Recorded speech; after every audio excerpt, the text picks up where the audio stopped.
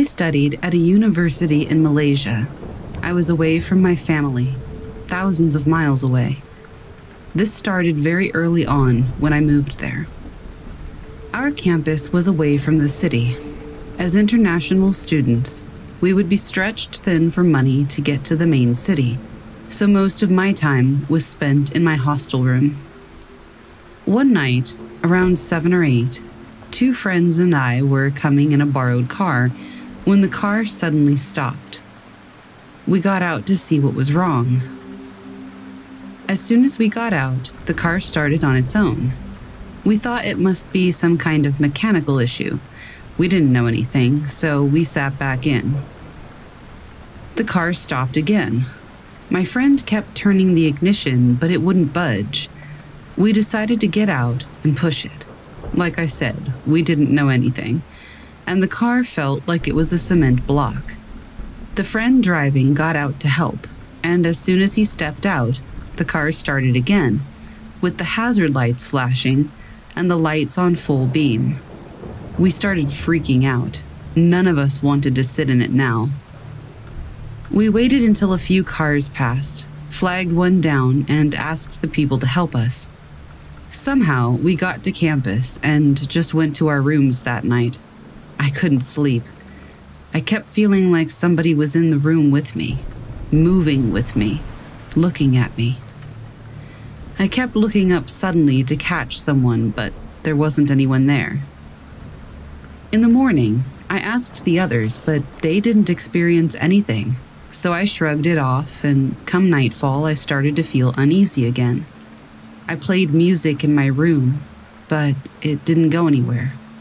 I showered, I prayed, I tried to sleep, but still, the feeling doesn't go. My bed was up against a wall, and I slept facing the wall. The whole night, I could feel someone standing behind me, looking at me, willing to turn.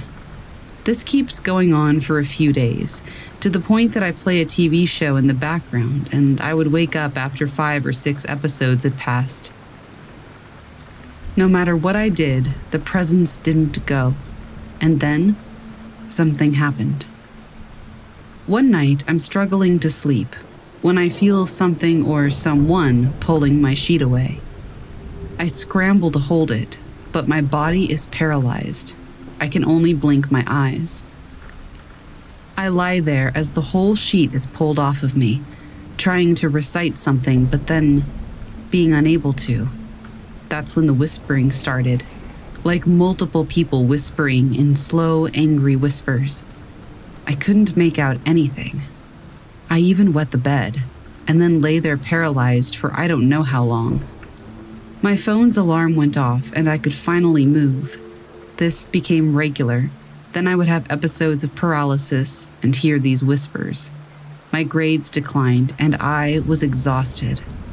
One evening, I just picked up my stuff and went to sleep in my friend's room, who was almost always high.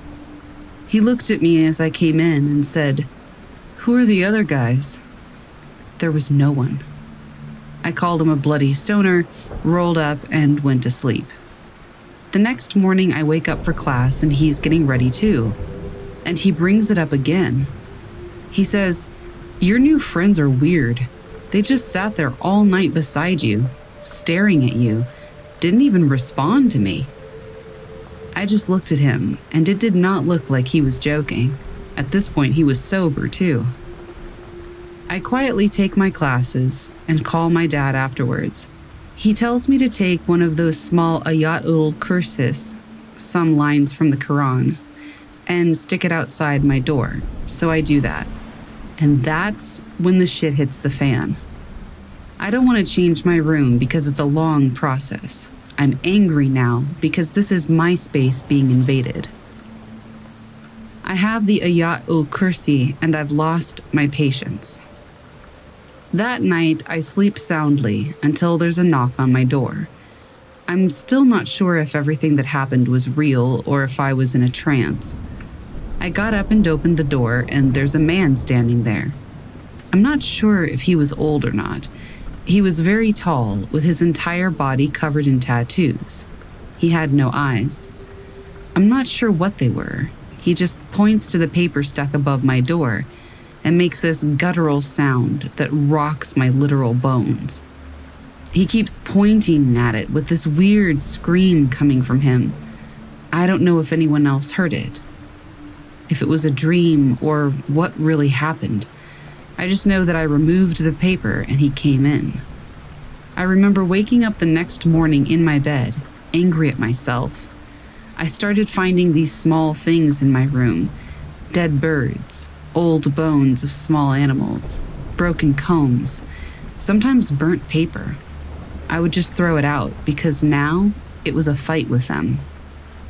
Then one night, I decided to stop sleeping facing the bed. This is my room, my space, and I'm not letting them bully me anymore. So loudly, I say, in my native tongue, something that means, do whatever you can, I'm not going anywhere else. I pray and I go to sleep. I wake up in the middle of the night with all of my room lights on, and I see something that I will never forget. It's the same man offering a Muslim prayer in my room in the wrong direction. He's doing all the same motions. I can hear the sounds, but he's facing the wrong way. I don't know how long I lay there, barely able to breathe and unable to scream, until the man, sitting there, turned around and stretched his arms toward me. But they weren't arms. They were these long, black, snake like looking things, like they could strangle me in a few seconds. In my heart, all this time, I was reciting something. I could feel my tears on my pillow, and I lost all memory after that. I woke up in the morning with scratch marks all over my body, like a bunch of cats had been let loose on me. My bed sheet smelt like old blood. That was it for me. I couldn't go on like this anymore. So I contacted my cousin, who put me through to somebody I could talk to. That night, I decided to go sleep in a mosque. It's common in Malaysia for guys to wear a, I think he called it a dhoti, but I'm not sure, over shorts if you're praying. I prayed, I used mine as a sheet, and I went to sleep in the mosque's courtyard. It's hard to believe the next part, but I'll leave that up to you. I woke up in the same exact place that our car had gone bust that first night. I woke up to these strangers shaking me awake, asking me if I was okay. Someone suggested calling the police. Some turned out to be my seniors, and I got a ride back to the hostel with them. After that, I started sleeping with different friends until the scholar was put through to me. He came and spent a few hours in my room, and after asking around a bit, we learned that the student before me who lived there used to practice black magic in the room. He even used to write with his own blood on the walls, and administration just painted a new coat on top of it. I don't know what happened to that room or who got it. I was shifted to another one, quietly, on the condition that I would never speak about it. And that was it. No more sleep paralysis, or whispers, or visits, or scratches, or waking up in new places, or the smell of blood. I still have dreams about it, and to this day, I don't look into mirrors for too long.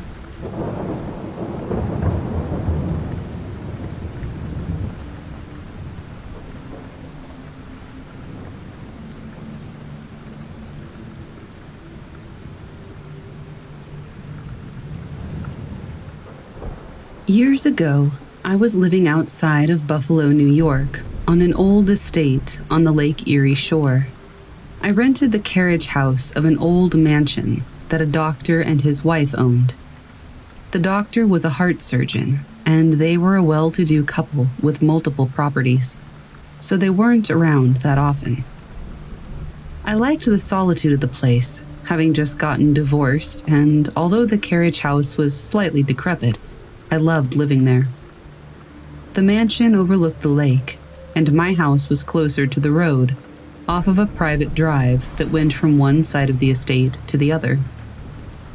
The carriage house had been a servant's quarters for whoever lived in the mansion at the turn of the 20th century.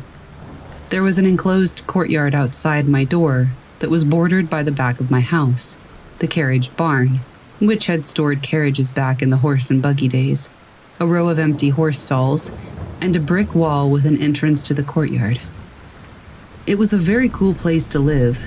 The rent was cheap, and there was a private 150 foot long beach that was hardly ever used by anybody but me. But it was very isolated if there was nobody staying in the mansion, and there weren't any close neighbors because all of the houses along the road were big estates, and a lot of the rich people living in the area weren't full time residents. But I was young and brave, and it was a big estate full of decaying spookiness, and I'm a weirdo that likes that kind of stuff. So I was overjoyed to find the place. One night, I was coming home late, around 1 a.m., from a friend's house. Driving down a street a mile or two from my house, I saw a dark figure up ahead, standing close to the road. I thought that was kind of odd, because it was late at night on a weekday, not exactly party time in the Buffalo South towns. I started to get a little nervous because the person was standing as if they were waiting for someone to pick them up. As I got closer, I could see they were wearing an unusual black shroud like thing, long and dark and draped, with part of it wrapped over the person's head to look like a hood. It was similar to someone wearing an abaya or a hijab, only much looser, like a bunch of material just wrapped around somebody's body. It seemed totally inappropriate for what I knew of the people that lived around the area. Nobody ever wore anything like that, and certainly not outside at one o'clock in the morning on a weekday. The person was just standing by the side of the road, looking stooped over and old. I slowed down to a crawl as I approached, worried that the person needed help. Maybe it was an older, senile person that had walked out of their house in the middle of the night, confused. When I got close enough to really see the person, she lifted her head and looked my way. And I saw that it was my ex mother in law. I was absolutely, positively sure that it was her. The same gray brown hair, the same eyes, the same enigmatic smile that had always made me wonder what she was thinking about but never saying. She raised her hand and waved at me. Not a stop and help me wave, but more of a, gosh, it's good to see you wave. That scared the hell out of me because my mother in law had died three years previous to when I was driving down that road. I sped up and kept driving, my hands shaking on the steering wheel. But a few minutes later, and a few deep breaths later, I told myself I should go back and take another look. My mother in law had loved me I couldn't imagine her ghost would appear seeking revenge on me for divorcing her son, who had not treated me well, to say the least. I drove in a square by making left turns and went down the same road again, but there was no one there. I was too freaked out to go back to my spooky carriage house with the weird sounds and hundred year old history, with nobody there but me and the ghosts I was convinced probably inhabited the place so I drove to the local all night Greek diner and sat there for an hour, drinking coffee and calming my nerves. When I finally drove home and into the courtyard, I could see that something was wrong. My door was standing open, the glass windows were broken. The door was cracked almost all the way through from one side to the other. Someone had destroyed the door to get into that house. The next day, I found a crowbar in the courtyard, thrown off to the side. The only things I noticed missing from the house were just a few pieces of my clothing, super creepy, a jar of loose change, and a knife from the kitchen. I was just divorced and not exactly rich. I didn't have much worth stealing. It's very scary when someone breaks into the house you live in, all by yourself in an isolated spot they must have driven right into the courtyard and would have been hidden from view while they broke down the door. I called the cops. They never caught anyone. With all the upset of the break in, it wasn't until hours later that I remembered having seen my dead mother in law waving at me from the side of the road, dressed like the Grim Reaper. I'm convinced that she somehow appeared to delay me from going home that if I had driven straight to the carriage house, whoever the person or persons were who had broken my solid wood hundred year old door practically in half with a crowbar might have been waiting there for me, or I could have surprised them, and that things might have turned out very differently for me.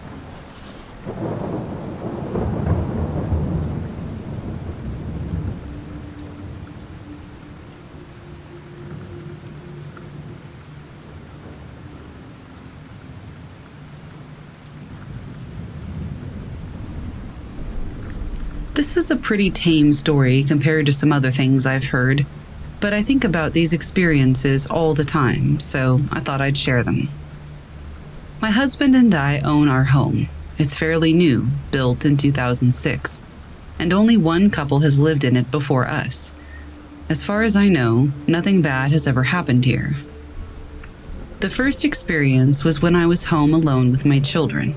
My youngest was asleep, and my oldest was coloring at the table in the kitchen. It was the middle of the day, so the windows are open and no lights are turned on. I'm in the kitchen putting away dishes, crouched down to put a pot under the bottom cabinet, when I hear the click of the light switch and the kitchen lights turn on. I turn around, fully expecting my husband to be home. He isn't. Creepy, but no big deal. Months later, both of my kids are in the nursery while I'm taking laundry out of the dryer.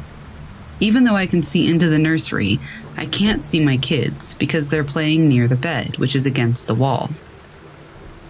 I hear my son jumping on the bed, and I keep telling him, Don't jump on the bed, be careful of your sister.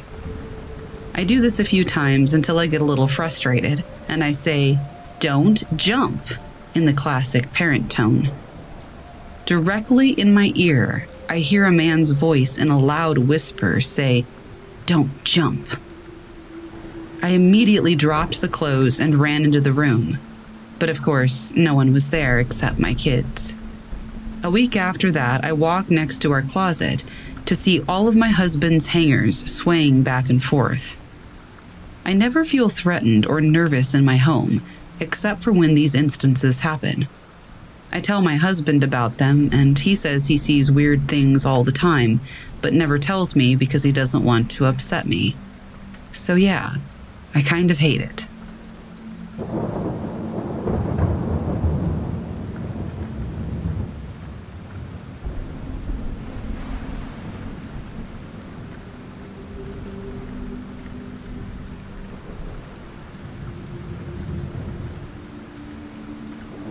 I am Puerto Rican and I live in Brooklyn. But when I was young, I often spent summers in my grandmother's house in Yauco, Puerto Rico.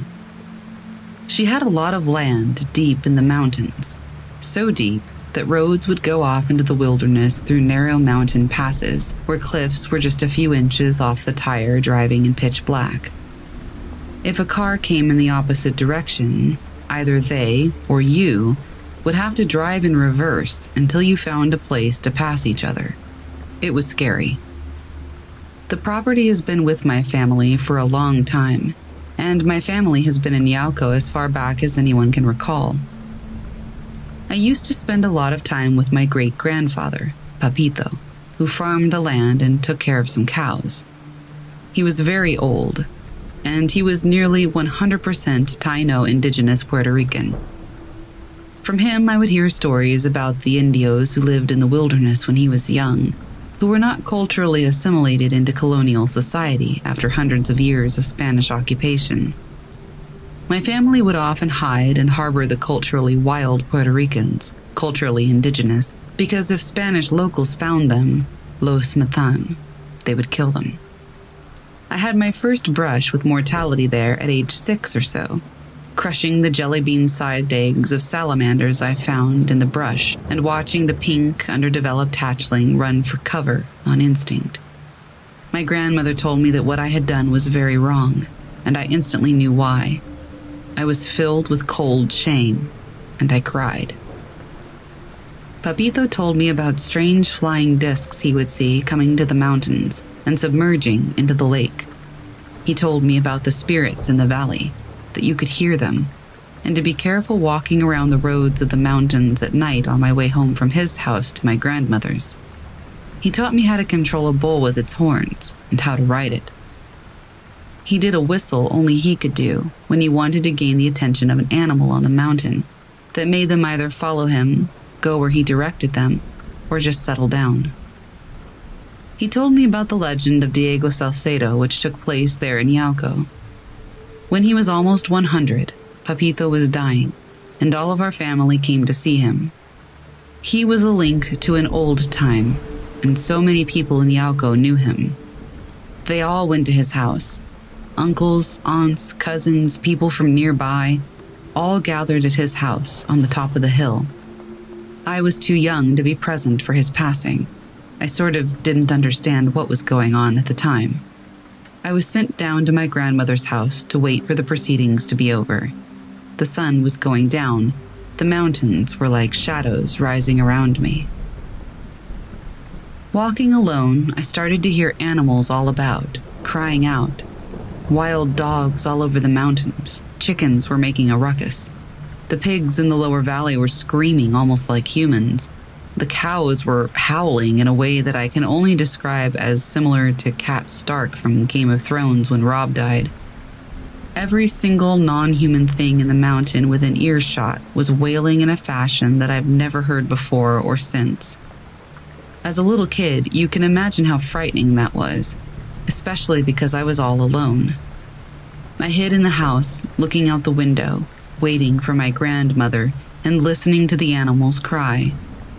I was especially sensitive to sound then, as it had been a time in my life where I was often sick and constantly on the medication amoxicillin, which I was allergic to. It created this sort of overwhelming extrasensory sound experience. At some point, all the animals stopped making noise, and I was thankful. Before bed, I asked my grandmother what had happened, why all of the animals were making that sound. She told me that Papito had just died, and that all of the animals on the mountain had realized the powerful being that protected it for so long was gone, that they had seen his spirit pass, and it was sensible that this change would affect them very deeply. My grandmother's perspective was that the animals just know these things. I couldn't sleep. I went outside late at night, curious and scared out of my wits, thinking about the spirits that may be out in the darkness of the mountain wilderness, thinking about that terrible, painful lamentation that was embodied by animals crying like people. I went close to the edge of one of the small nearby cliffs that hung over the endless darkness I squatted and listened. I heard a sound that scared me a feral cry in the darkness. I don't know what dog it was, or if it was a dog at all, but it was certainly too close, and I was by myself. It howled and yelped, and I regretted coming outside. I was sort of frozen there, afraid to move, but afraid to stay. I wouldn't dare call out for my grandmother. I would be scolded for coming out and wandering around at night. She probably wouldn't hear me anyway. A moment later, I heard that whistle that Papito used to do, out in the darkness. The howling stopped. As a child, I didn't think, that couldn't be Papito, he's dead. Like any adult in their right mind would think. I just thought, it's Papito. It had to be. No one else could do that. No one knew how to whistle that way in my family, and it was only us for miles around on the mountain. Where the sound came from would have been impossible for any person to be. Not even during the daytime could they be there. It was deep inside of the wilderness on the severe cliffside, but I knew he was there just the same. I'm sure that at that age, the line between life and death was blurred. Yauco is the area where the chief of Taino lived, it is also where the rebellion began against the Spanish, with the drowning of the conquistador Diego Salcedo. Many of the surviving Taino escaped into the mountains of Yauco and lived in secrecy there for a long time, hiding their lifestyle behind some of the more assimilated natives, like Papito. They say the Taino are extinct, but that cannot be. I knew some of them. and I am one too, if only a little bit.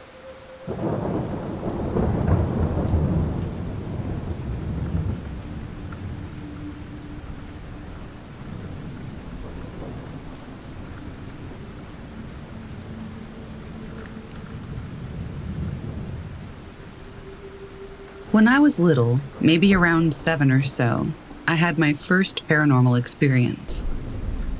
My mom always told me that she felt like I attracted things from the spiritual realm, even as a baby. But this experience is the first one that is my own memory, and I remember it vividly, now at 26 years old. My mom was unlucky enough to have not only my father die, but also my little sister's father. My dad passed away due to a car accident, and my sister's dad had committed suicide after a battle with severe depression. Needless to say, my mom had it pretty rough, and being a single working mother, she would often take us to a family friend who babysat us while she worked late nights at the hospital. The woman who babysat us was a warm, kind, and gentle woman named Rhonda. She always took the best care of us, and my sister and I really enjoyed staying with her. Rhonda had two birds who we loved to talk to. They would repeat simple things like hello and what's up. We thought it was the coolest thing. After a long day of playing, my sister and I were off to bed, and Rhonda tucked me into bed in her spare room downstairs. My sister was still pretty little, and she slept in the same room as Rhonda because she was too scared to sleep alone. And Rhonda was like a grandma to us who was more than happy to share her bed if we got scared. I was a big girl, and I loved having my own room to sleep in. I was never scared. On this night, though, I was having trouble falling asleep, and I just kept tossing and turning, growing frustrated that I wasn't asleep and for some reason I began to get anxiety and become fearful. I didn't know why I was scared, but I was. After what felt like forever of me just laying there, contemplating getting up and crawling into Rhonda's bed, I heard something in a low, calm male voice say, Marissa, it's okay. Just go to sleep. This surprised me, but it didn't scare me.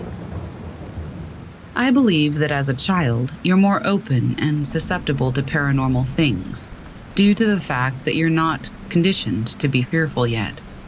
With age, you learn what's scary and all the things that go bump in the night that you should run away from.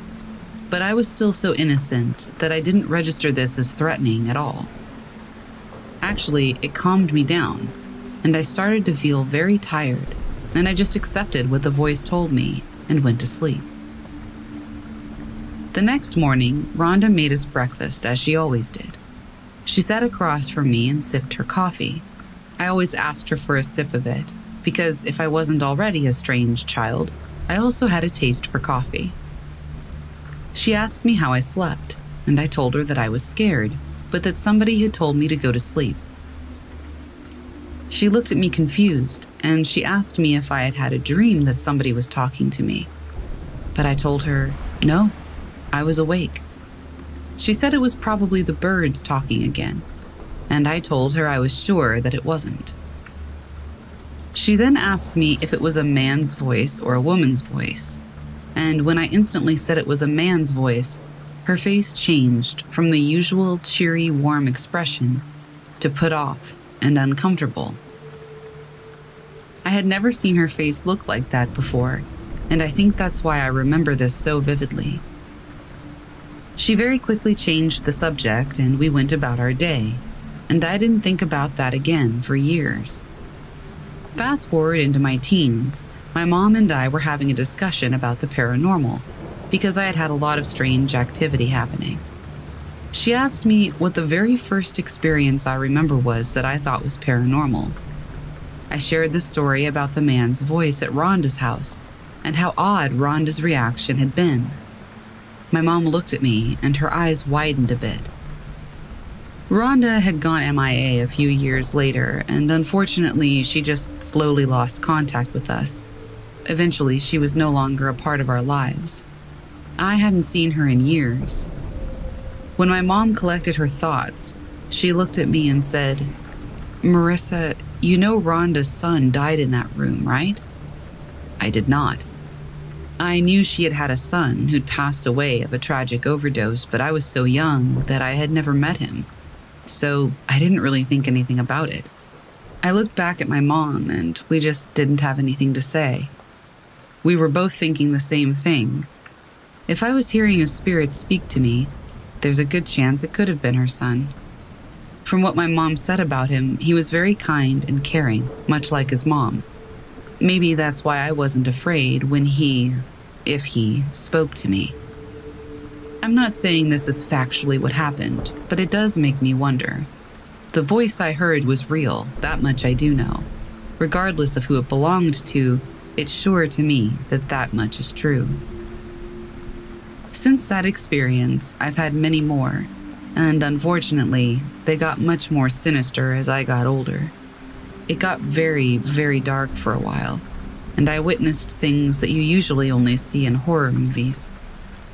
I still think of this experience often, and hopefully you enjoyed it. Regardless, it's not something I'm likely to forget anytime soon.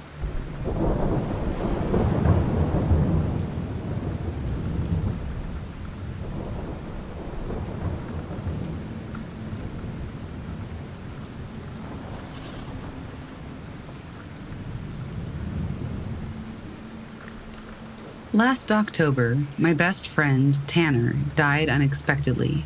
I don't need to go into too many details because they're not relevant to the story, but it was easily one of the hardest hitting losses I've ever experienced. He and I shared a very close and special bond, and had overcome a lot of life together.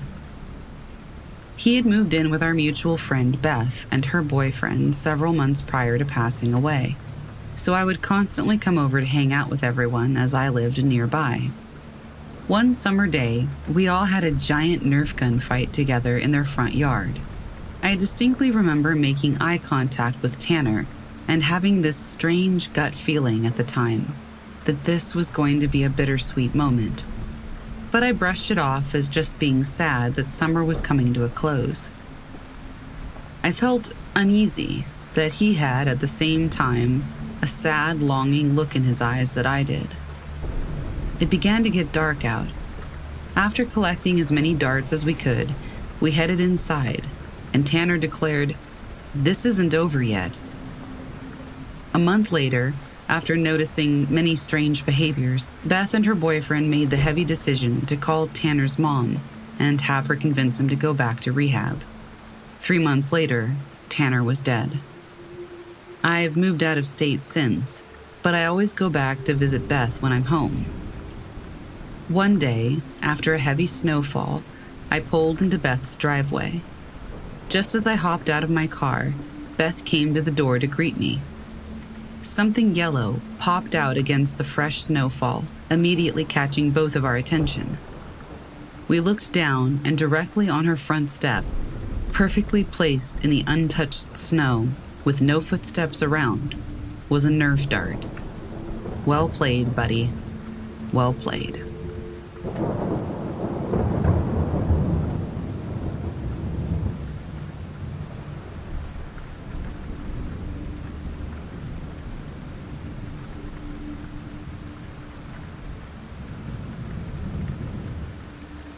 I grew up in Florida, in a house that was the original train station for the town we lived in.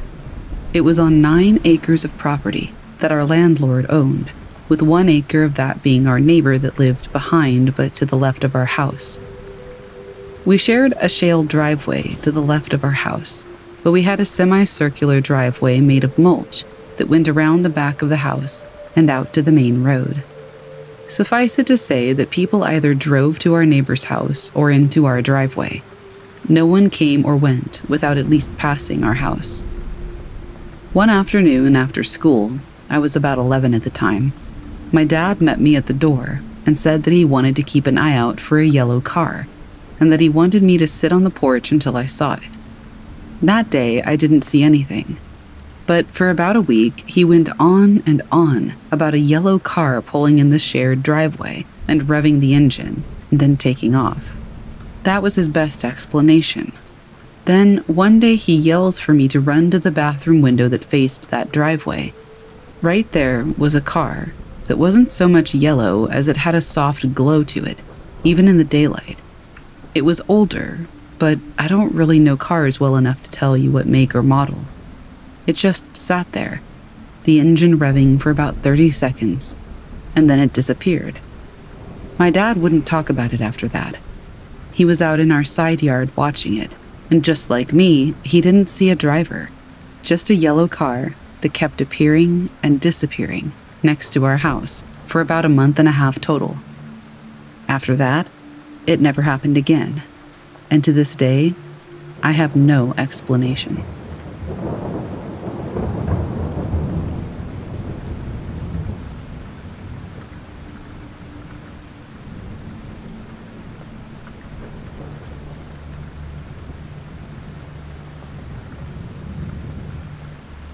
We had a lot of paranormal activity in this old farmhouse that we lived in. Little things would happen. We would hear voices or something would turn on and we would just ignore it. Until one night. My husband and I were watching Stranger Things. Ironically, in the show, it was just after the lights had flicked out. Ours started to do the same thing. I made a small joke and thought nothing of it. As I went into the kitchen, I watched our vase go into the air maybe an inch and fall. Again, I thought it was creepy, but I didn't think a whole lot of it. My husband did end up getting an EVP, but unfortunately, we lost it once we moved out of there. Anyway, we heard a pig on the EVP and keys. We also heard a female saying, Abby. We had a lot of other things happen in that house, too. I'm not sure if it's just a ghost or if it's a demon. So far, every house I've lived in seems to have paranormal activity. My brother seems to have a lot of paranormal activity too, but he won't share what exactly has happened to him. I used to try to get recordings in his place, but he told me to stop and to stop messing with it, so out of respect, I did. I think whatever this thing is is attached to my brother. I think that because he recently stayed with us for the weekend, and I had my first paranormal experience in this new house. I had one of the doors slam with force. Not because of air drafts or anything like that, and the stove kicked on. All of this happened right after he left. I don't know if I'm being paranoid or if something is following him around, but I'm pretty sure that something is attached to him. That or we picked something up from the farm, but honestly, I really don't know what's going on.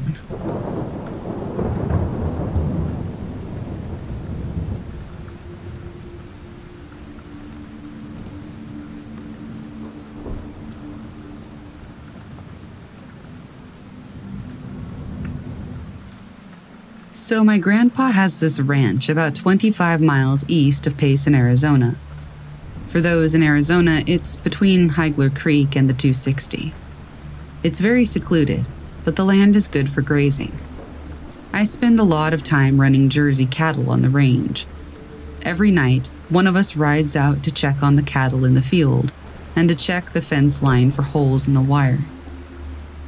A few days ago, I was riding out to check on the herd at about 1:30 in the morning, and I kept hearing this rustling in the tree line, running along the fence perimeter. I figured it was just coyotes or squirrels. I see a lot of them up there. It went away every 10 or 15 minutes, and then I heard it again. The second time I heard it, I was off my horse and walking him to a little water trough. The cows were about 150 to 200 yards away, just within my view given the moonlight. I heard the rustling again, but this time it was heavy. My horse Vegas and I both looked up at the same time, wondering what in the hell we were hearing. At this point, I came to the eerie realization that whatever was out there was tracking Vegas and I, and it didn't seem so interested in the cows. In an attempt to scare it off, I got back on my horse and grabbed my whip and uncoiled it. Don't worry, I don't use it on animals. I only use it to make a loud noise to move the cattle along. I cracked it a few times, figured that was safer than using my pistol. The rustling stopped, and the forest was dead quiet once more. Not thinking much about it, I went back to count the head. I marked 38 heads. All the cows were there. So I started my way back to the house. I was about three and a half miles away, and it's a bit of a trail ride to get back. It was about 10 minutes of silence until I heard that rustling again. At this point, I was getting pissed. I figured it was some dumb little coyote thinking that we were going to lead him somewhere.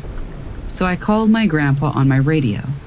There's zero service out there, like none whatsoever, so radios are our only communication.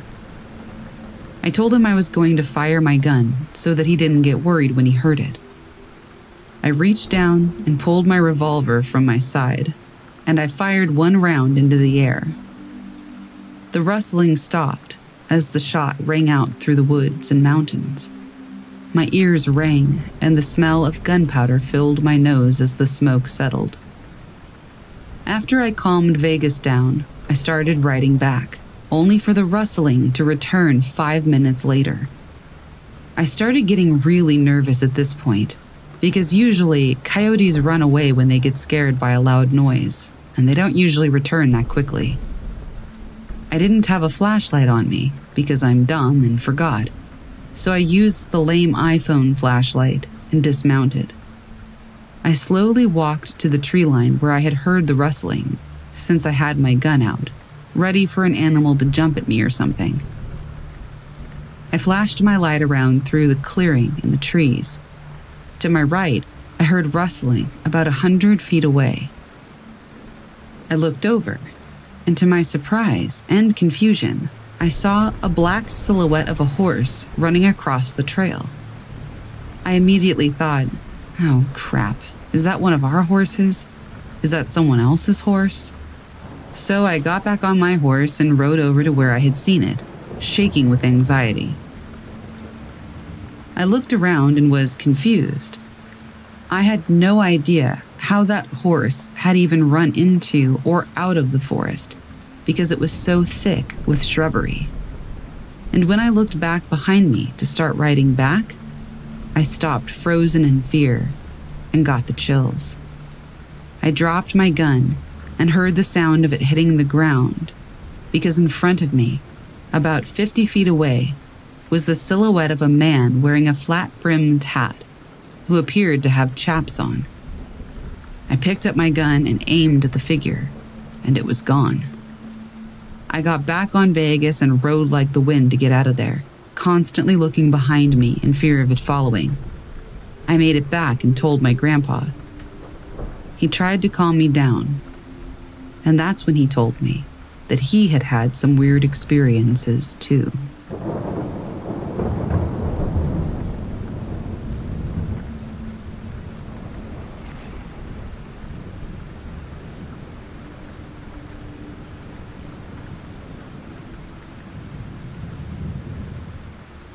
This is my mom's story about me when I was just two years old. My mom was sleeping with me in her bed when I woke her up. I was laughing, pointing up at the ceiling, and smiling as I looked around our empty, dark bedroom. I kept saying, Look, Mommy, look, and laughing. Seeing nothing, my mom asks me what I'm pointing at. I tell her that there are beautiful fairies of many different bright colors flying around the room. But here's where it gets creepy. I point to the dark hallway and say something like, The bad ones are in the hall.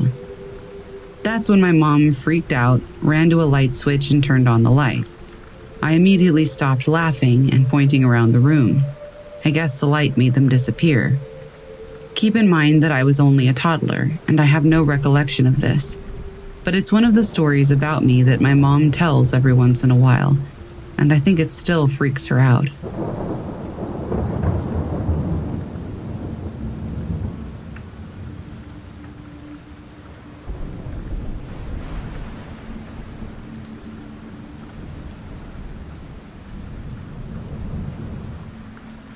It was Christmas Eve, 2019. I had gotten into a drunken argument, and I had to spend 24 hours, Christmas Day, in an empty, silent cell. I was hungover at the time and had been beaten by police for exercising in my cell.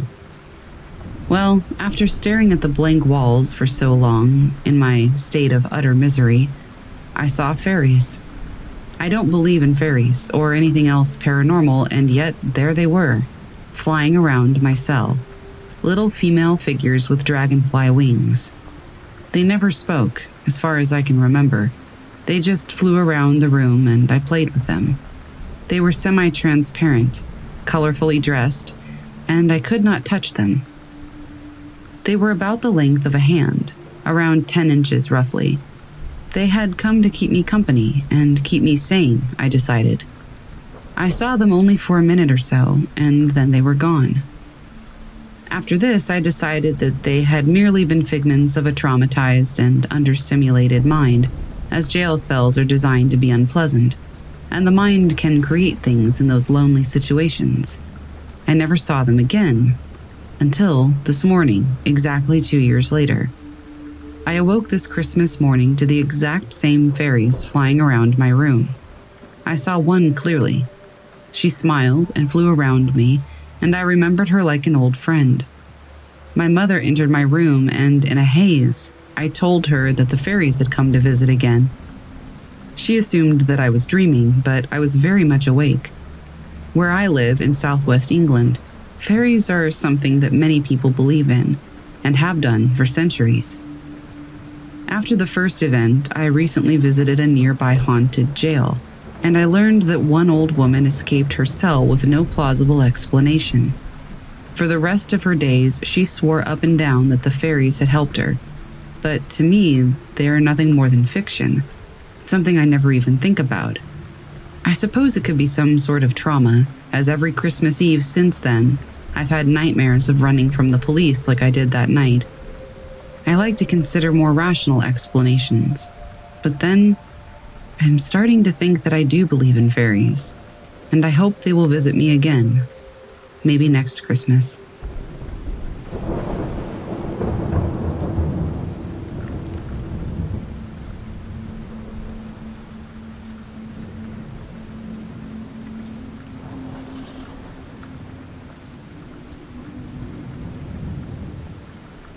I saw a fairy portal once, and I almost went through it.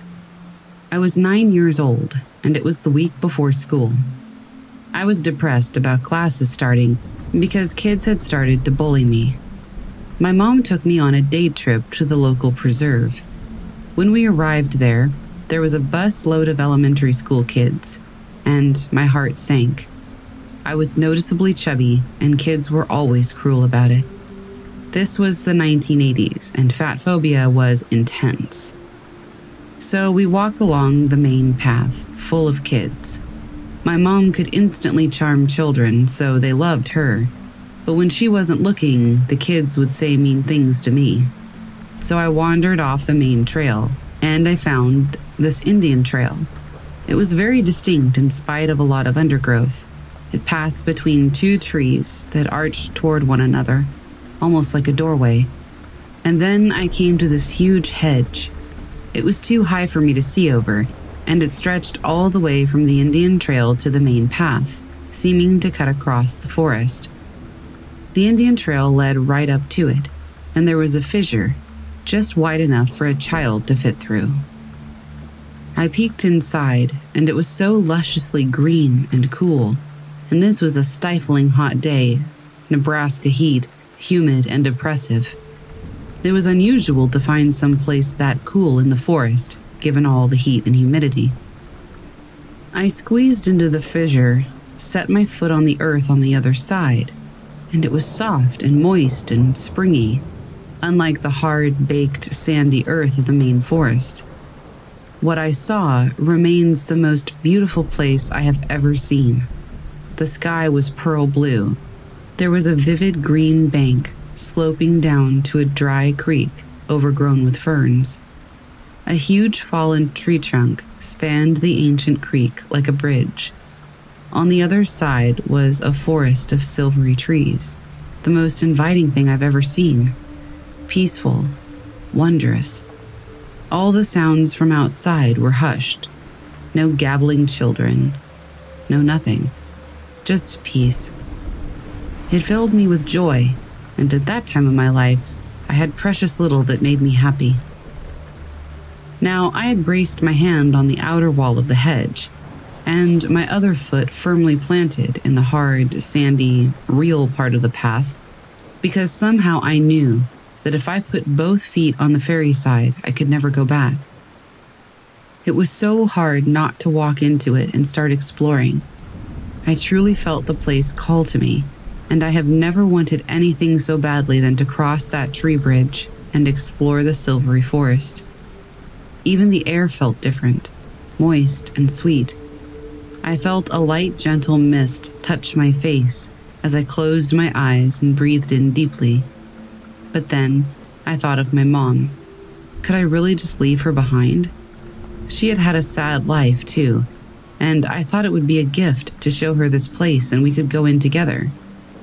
Well, as I had that thought, the fissure in the hedge began to close, pressing against my stomach and back. I was forced to choose go forward or go back. I pulled myself back out of it with an effort. The hedge branches caught my t shirt and tore a hole. Branches scraped my arm, drawing blood. I went back down the Indian trail, past the two trees entwined like a doorway, and found my mother on the main path, still talking with those brats who'd had the nerve to bully me when she wasn't looking. I insisted that she come with me to see this most glorious thing. She didn't doubt me and was willing to follow me, only now it was really difficult to find the Indian trail in the undergrowth. It was all overgrown and covered in leaves. But I spotted it and I made it as far as the two trees that were like a door. Only now they were strung with nasty cobwebs, like the trees were suddenly so old and ugly I couldn't imagine going near them. And the trail had disappeared entirely. I looked up and pointed in the direction of the hedge, sure that she could spot it from there. It was nine feet high and stretched for several yards in both directions. But no, there was nothing only the usual trees and undergrowth. I was so shocked when it wasn't there. I saw then that it was impossible that it had ever been there. It would have been bisected by the main path, which was packed with children and teachers. I was speechless, trying to get my mother to understand what I had seen.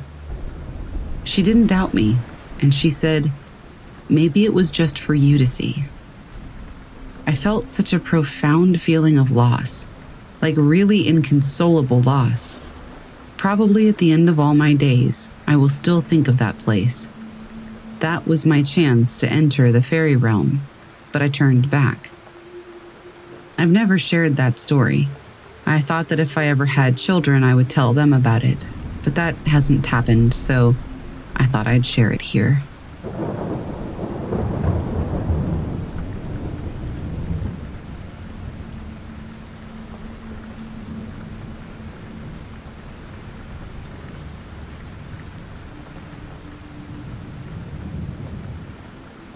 When I was around four years old, I went to my grandparents' house for my very first solo sleepover. I remember playing in their guest room and always having my attention drawn to a specific corner of the room. Anyway, that evening I went to bed soundly. I woke up right around dawn, and I can remember as clear as day seeing a small humanoid figure walking across the windowsill of the window facing east. I remember the dawn light creating a sort of silhouetted image of this thing, but I could tell that it was wearing clothing. And from the waist down, it had a sort of transparent look to it. As it neared the end of the windowsill, I can remember it noticing me watching it, and it quickly hopped off the sill into the dark corner of the room that had always seemed to draw my attention. A few years ago, I was visiting my mom and I brought it up. She said that she vividly remembers picking me up that morning, and I was scared out of my wits, to the point where I would refuse to ever enter the same room again to gather my toys. I've run this encounter through my head more times than I can count, trying my best to dismiss it as a childhood dream. But 30 years later, that memory sticks out in my mind as clear as day. I'm pretty sure I saw some kind of fey creature. I just don't know what.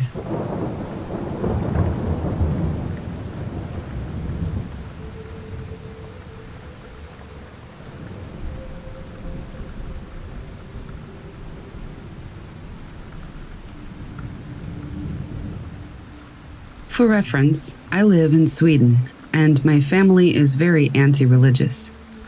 The house we live in is fairly old, dating back around a hundred years. My dad is a very productive person, always getting new hobbies on the fly. One day, he decided to start a bee farm in our backyard. When you take care of bees, you need room that is very clean, too, to keep out the bacteria from the honey he decided to use our shed in the backyard, which is extremely small. The room can only fit about two people. In the room, we have one desk, which has a couple of drawers in it. In those drawers, we keep all of the necessary equipment when making the jars of honey.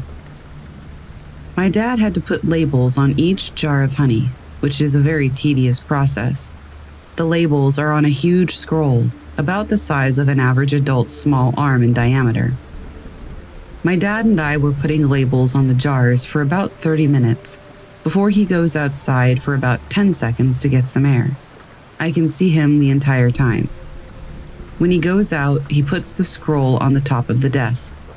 During this time, I was watching and I took out my phone. When he comes back in, we proceed to start again, but out of nowhere, he asks me where I put the scroll. I told him that he put the scroll on the top of the desk, but it's not there. Without the scroll of labels, we couldn't continue working. We start looking all over the room, but nothing. As I described earlier, the room was tiny, which is why it's so odd for something to disappear. We searched everywhere behind the desk, in each drawer, outside, but still nothing. This happened about a year ago, and it's still freaking me out. Usually, when my family and I experience something paranormal, we just blame it on something logical and ignore it. But this incident cannot be explained. There is seriously nowhere for that thing to have disappeared to, and that's why it's freaking me out. Even in the unlikely event of it rolling outside, my dad and I would have easily spotted it or just heard it. Moral of the story is gnomes might still exist in Sweden.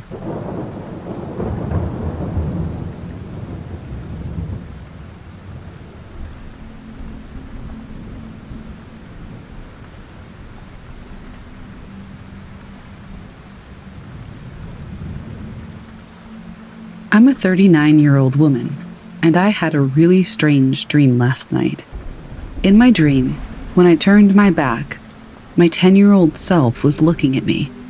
I was quite shocked to see her, and I asked, What are you doing here? She didn't say anything and left the room. I regretted my reaction and thought, oh, now she would think she wasn't wanted. I had to fix it.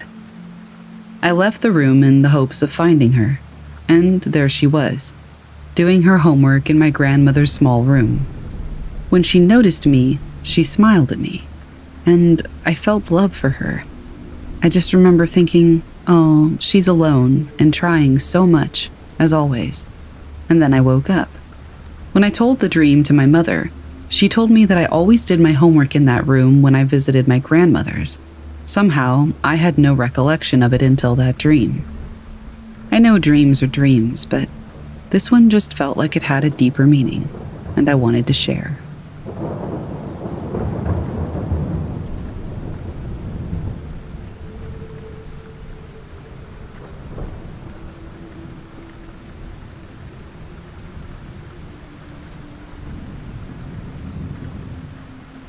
About five years ago, my wife and I got into a pretty big argument right after our son was first born. We were all heading to the pharmacy that morning, but both of us, being immature, decided to go separately. I had the day off, so I brought my son with me. It was only about a quarter of a mile up the street from my house, so we planned on walking. Well, I left a little late, and I didn't see my wife in the house prior to me leaving because of us avoiding each other. And when I got about a minute from there, I see my wife turn the corner, so I'm kinda not looking at her. But then when we pass, we both kinda mean mugged each other and didn't say a word. I go in, I get my script, and I get home. Well, she's laying on the couch in her pajamas and not even getting ready for work. So I tapped her and I said, What the heck? You're not getting ready for work. Why did you change out of your clothes? Are you not going to work now? And she was like, What are you talking about? I've been laying here in my pajamas. I'm just to go get my script and a few things that I was to get later. I was like, You didn't go to the pharmacy earlier? I just walked past you, like 10 to 15 minutes ago when you were leaving. You gave me that evil, dirty look, so I gave you the same one in return. She starts saying that I'm crazy and must have been hallucinating, and what did I take? I totally didn't believe her. I thought she was just gaslighting me, trying to make me feel like I was losing my mind. But later that night, when we were cooled down, we all went to Walmart together to get her scripts and a few of the things that she needed.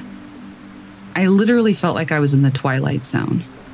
I kept saying, like, come on, Jill, quit messing with me. She swore up and down and actually started getting a little irritated that I kept pressing her about it.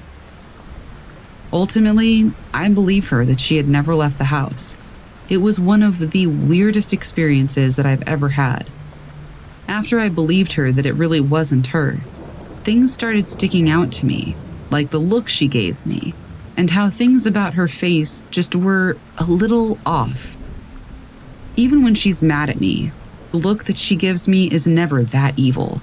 And that's exactly what this look was just evil. Like, even at resting neutrality, this face would have been full of evil and hatred. It was just like that. But still, at the time, we locked eyes and I was totally convinced it was my wife. I still have no idea what happened.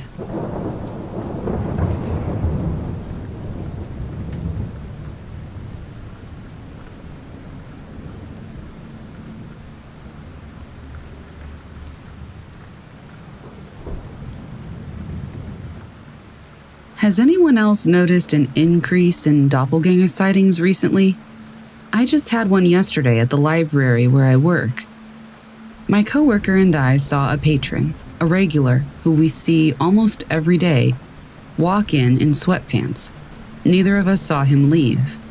About 15 minutes later, the same man walked in through the one and only entrance and exit, this time wearing something completely different and more formal. My coworker and I stared at each other, completely puzzled. I asked him how he had walked past me so fast that I didn't even notice, and why he had changed clothes. He looked at me like I was crazy. He claimed that he had been home all day, and this was his first time stopping by. My coworker told him what happened, and he was visibly freaked out. It freaked us all out because we looked around for this doppelganger, and whoever it was had completely vanished. There is, like I said, only one way in and one way out for patrons. The other doors are either emergency exits, which would have set off the alarms, or the staff entrance, which is a highly restricted area. There was no way he could have left in that short a time without at least one of us noticing. There are no cameras in the building, so there's no way to see how this person could have left. But the only phenomenon that I can attribute this to is the mystery of doppelgangers. I'm very interested in the paranormal, but I'm not a researcher or an investigator. Just a fan, I guess. It seems like there's been an increase in doppelganger sightings. Has anyone else noticed this? I wonder what it could mean.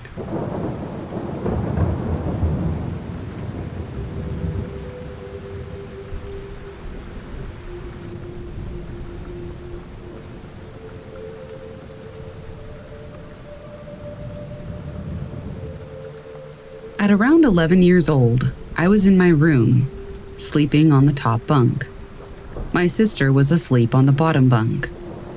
Across from my bed was my dresser with a large mirror. If you're laying and you look to the left, the mirror is there. I remember waking up in the middle of the night and looking at the mirror, and I saw what looked like myself sitting on the bottom bunk, staring at me through the mirror with a grin. Except she looked like she was sitting backwards, so that she had to turn her head to look toward the mirror, if that makes sense. I was really confused and really creeped out. I stared at it for a while, thinking that maybe it was my sister. I even called out her name, but it wasn't.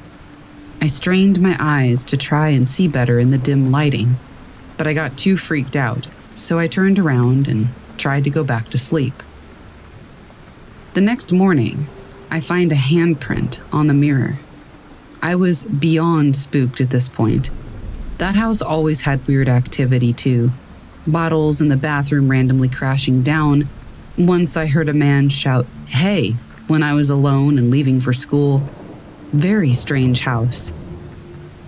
I know some might say that this was a dream, and maybe it was, but I know that I was wide awake. It felt so real. I remember it vividly. I remember trying to get back to sleep afterward. I'll never forget, though, the feeling of staring at myself, staring back at me, so menacingly.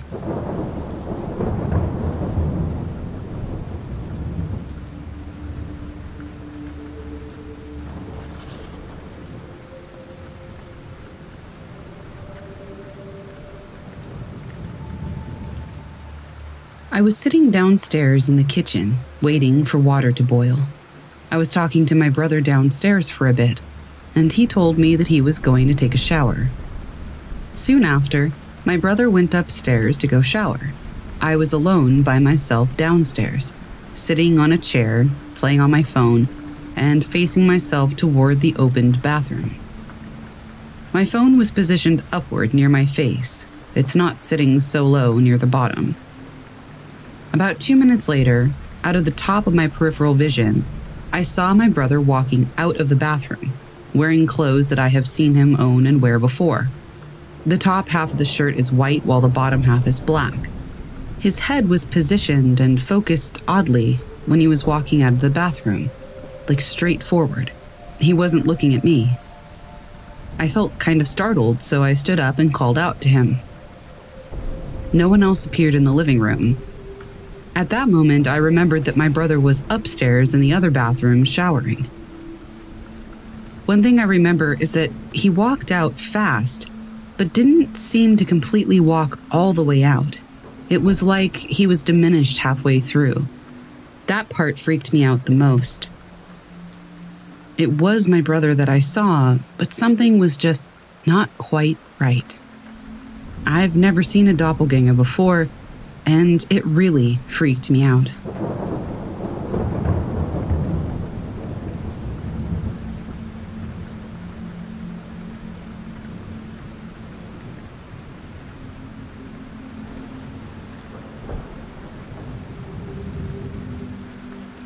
I was no more than eight years old when I saw it. Even my sister, who was 10 years old, saw it. We lived with my grandparents at the time, but my grandpa often likes sleeping in the living room because he often wakes up at night to pray at our tiny altar. We don't always close our bedroom door.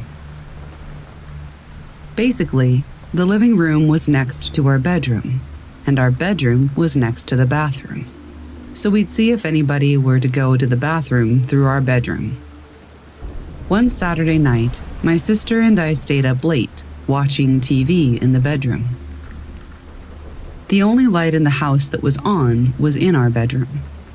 My grandpa chose to sleep in the living room again. It was past midnight, so we thought everybody in the neighborhood was asleep.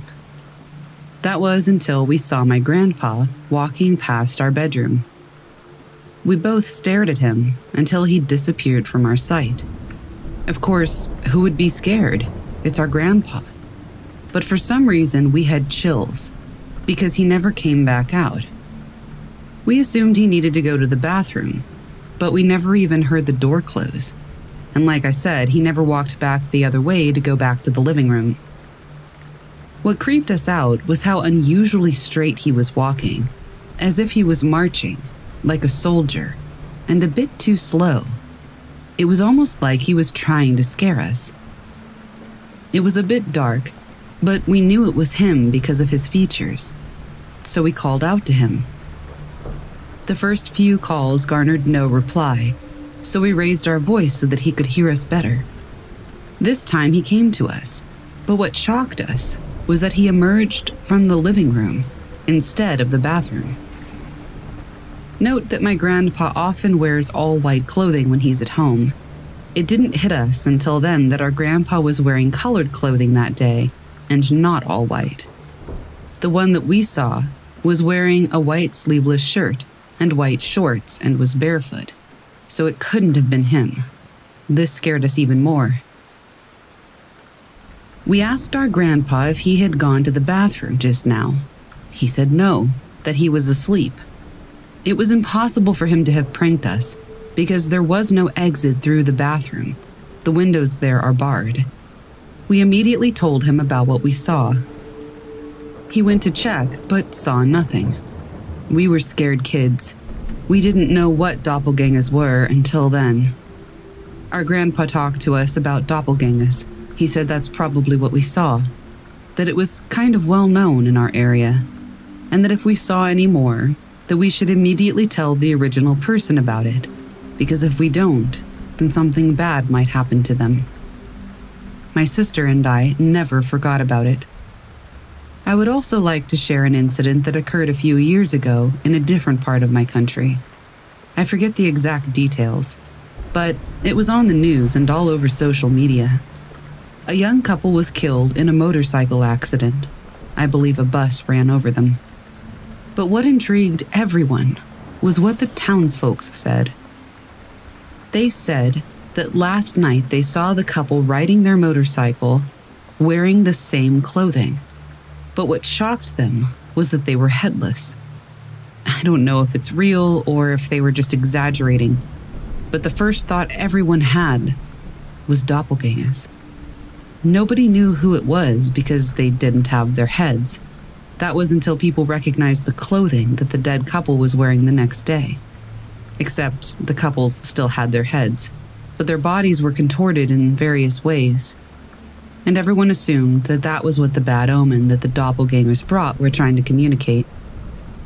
That story reminded me of what I saw when I was a kid, and I still don't have a decent explanation for either.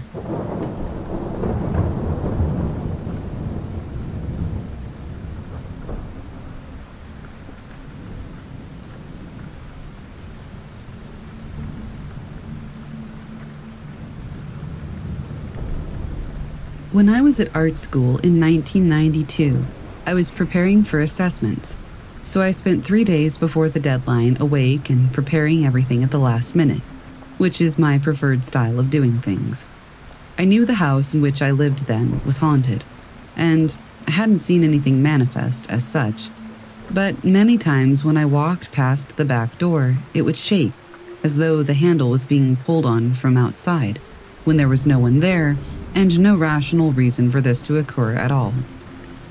That part of the house had a concrete slab as a floor, so the weight of a person crossing it had zero effect on the structure of the back room, so it couldn't cause the door to react in that way.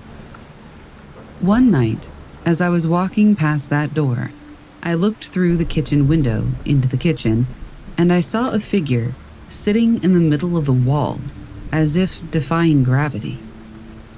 After a second, I realized that the person I was looking at was actually me, wearing a blue two piece suit, with a short, neat haircut, grinning maniacally, and looking into my eyes with a strange knowing. As I said, I knew the place already to be haunted, and so, when I saw this figure, I was mentally prepared for the door to shake as I passed it.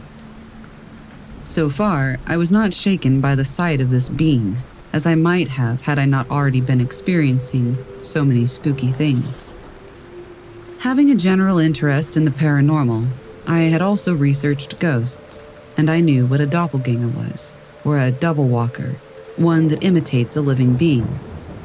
I was forearmed with this knowledge, and I knew that traditionally, a doppelganger is believed to kill those to whom it appears, over time, through the excitation of a fear within them that gradually weakens its victim through repeated appearances, all of which somehow grant the entity an increasingly proportionate greater strength.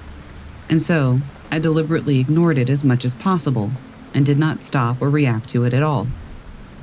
Quickly returning to my room upstairs to continue my work, which at that time I was thoroughly obsessed with completing, I tried not to think anything else of it.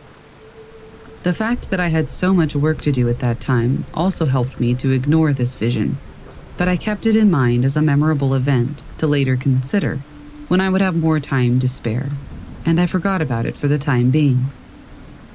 Inevitably, I handed in my work for assessment and entered into the first weeks of my summer holiday. One day, I took acid and went back to the house and lay on my bed and tried astral traveling to the very edge of the cosmos, to the point where matter expands into the void which exists outside of matter. I had the feeling that I actually got there and was instantly repelled back into my body. But I actually probably ended up just falling to sleep and waking up again, interpreting that as having achieved my goal. A little while later, my lovely, caring mother asked if I would like to obtain some help trying to find a job for the summer. As she was aware, I was a poverty stricken, dope smoking art school student living on a small government grant, and she thought I probably needed her help, which was very nice of her. She drove me to the city and we looked through opportunity shops to look for some cheap but nice business like clothes appropriate for job hunting. Then she paid for me to have my hair cut. At the end of our expedition that day, she dropped me off at home, and I walked in, still wearing the $15 suit that she'd bought for me. Out of vain curiosity, I hurried to the downstairs bathroom mirror to check out my new haircut.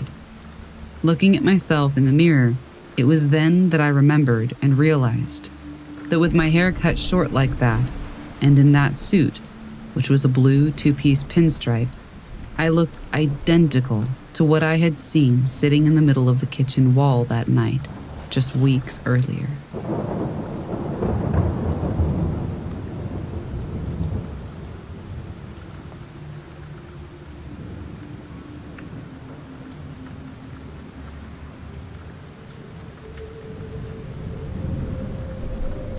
So, a few weeks back, my neighbor was over talking and just shooting the breeze, hanging out and whatnot my other neighbor called me, and when I went to answer, my phone randomly died. I told my neighbor, Phone's dead, I'll throw it on the charger and head out. When I put my phone on the charger, I waited for the screen to tell me what percent the battery was. It stayed black, as if the battery was completely drained. I waited about 20 seconds and it finally lit up, confirming a 5% charge. I was headed back to the living room when I thought I heard my buddy in the bathroom.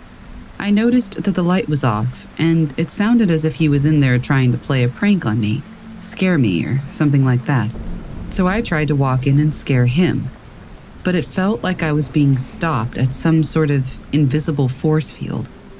I tried my hand, and it just went numb, like a dead arm. The harder I tried to get into that bathroom, the more drained and the weaker I felt. I tried to force my way in. The door was completely open and it was pitch black inside. It was about 10:30 at night. I tried with some decent effort, and it just felt as if something was grabbing me from the center of my chest, pulling me back and away from the bathroom. I imagined like somebody had a hold of my sternum and forcefully pulled me out of the bathroom and back into the hallway on the floor. I physically collapsed as if I had just run a marathon, absolutely drained and with no energy. I finally got my energy to stand back up and get to the door. My buddy says, That was quick. Hey, uh, what's wrong? I walked to the couch and sat down. I told him that I thought I had heard him in the bathroom, and I collapsed when I tried to walk in. He told me that I had walked out of the back hallway and told him I'm going to be right back. I forgot that I wanted to put some cologne on. I have no memory of this. Was that some spirit or entity that took over me? Did my doppelganger come and visit and take over my life for a second? I was completely sober, and I was halfway through one beer when my phone died. So I have no idea what happened.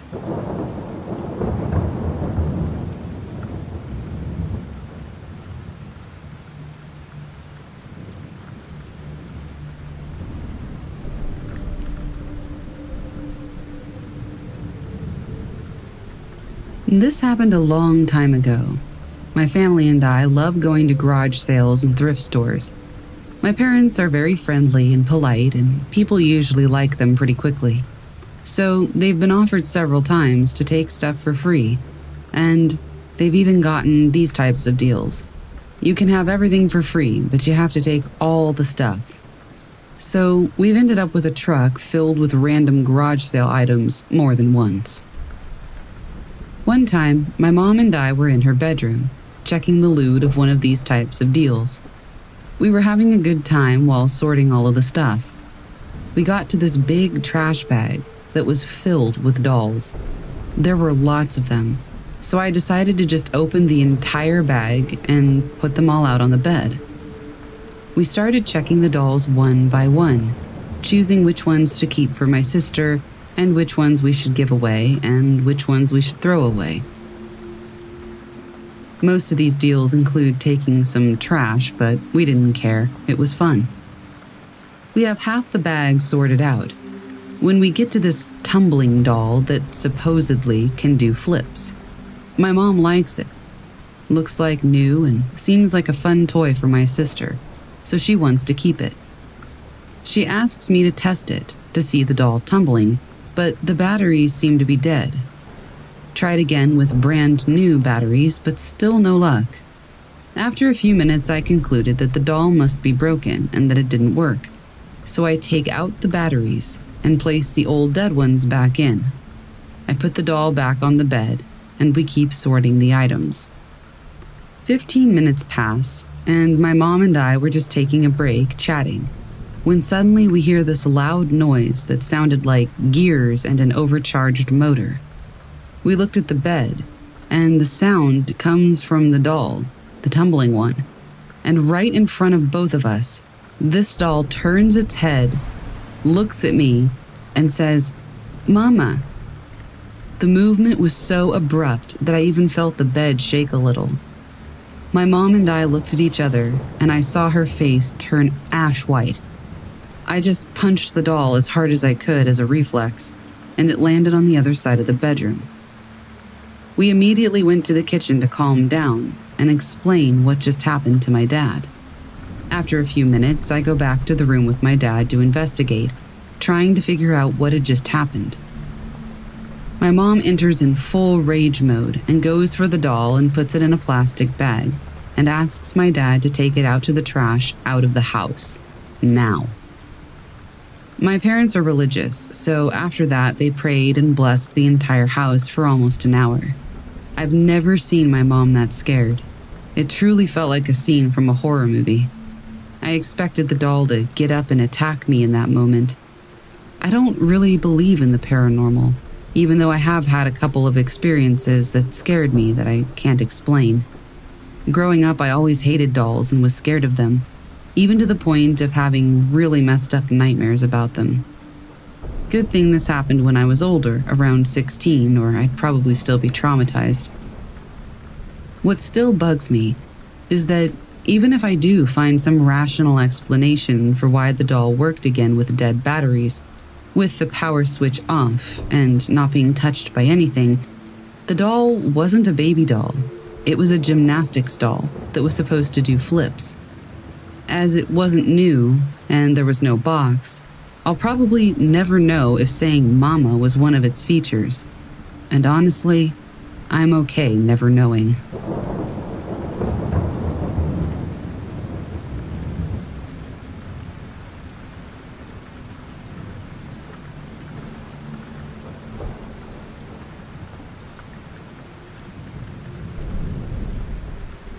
I've always loved the paranormal, even as a little girl.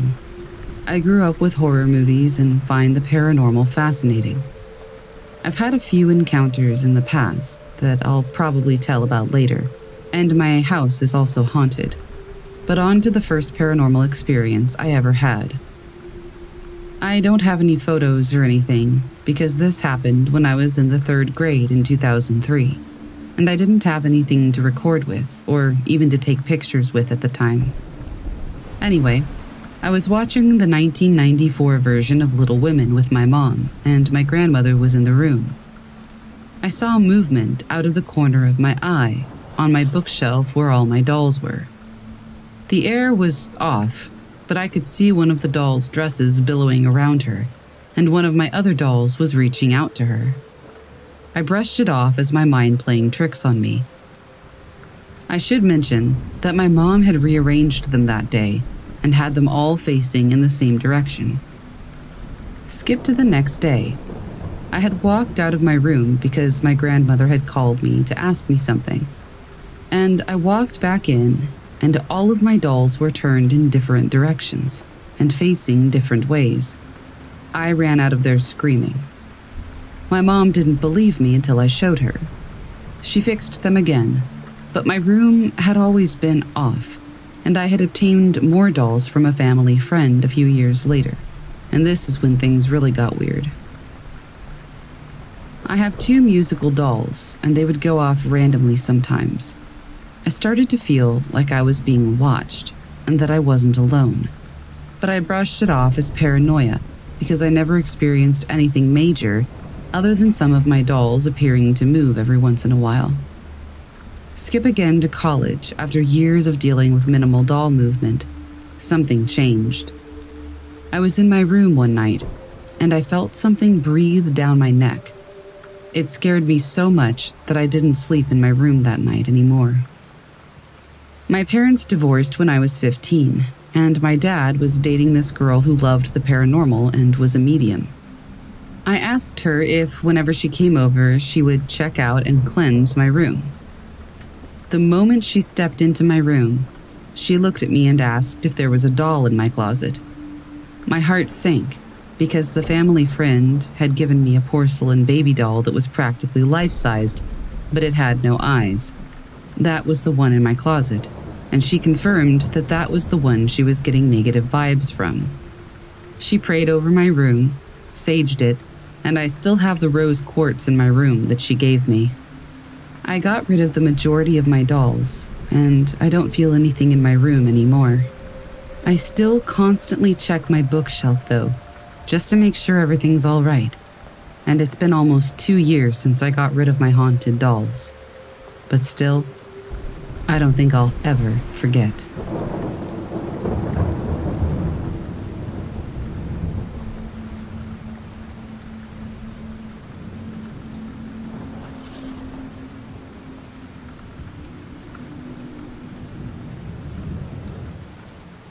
The summer before last, my boyfriend and I took a road trip to Omaha, Nebraska, with the main purpose being to visit the Museum of Shadows.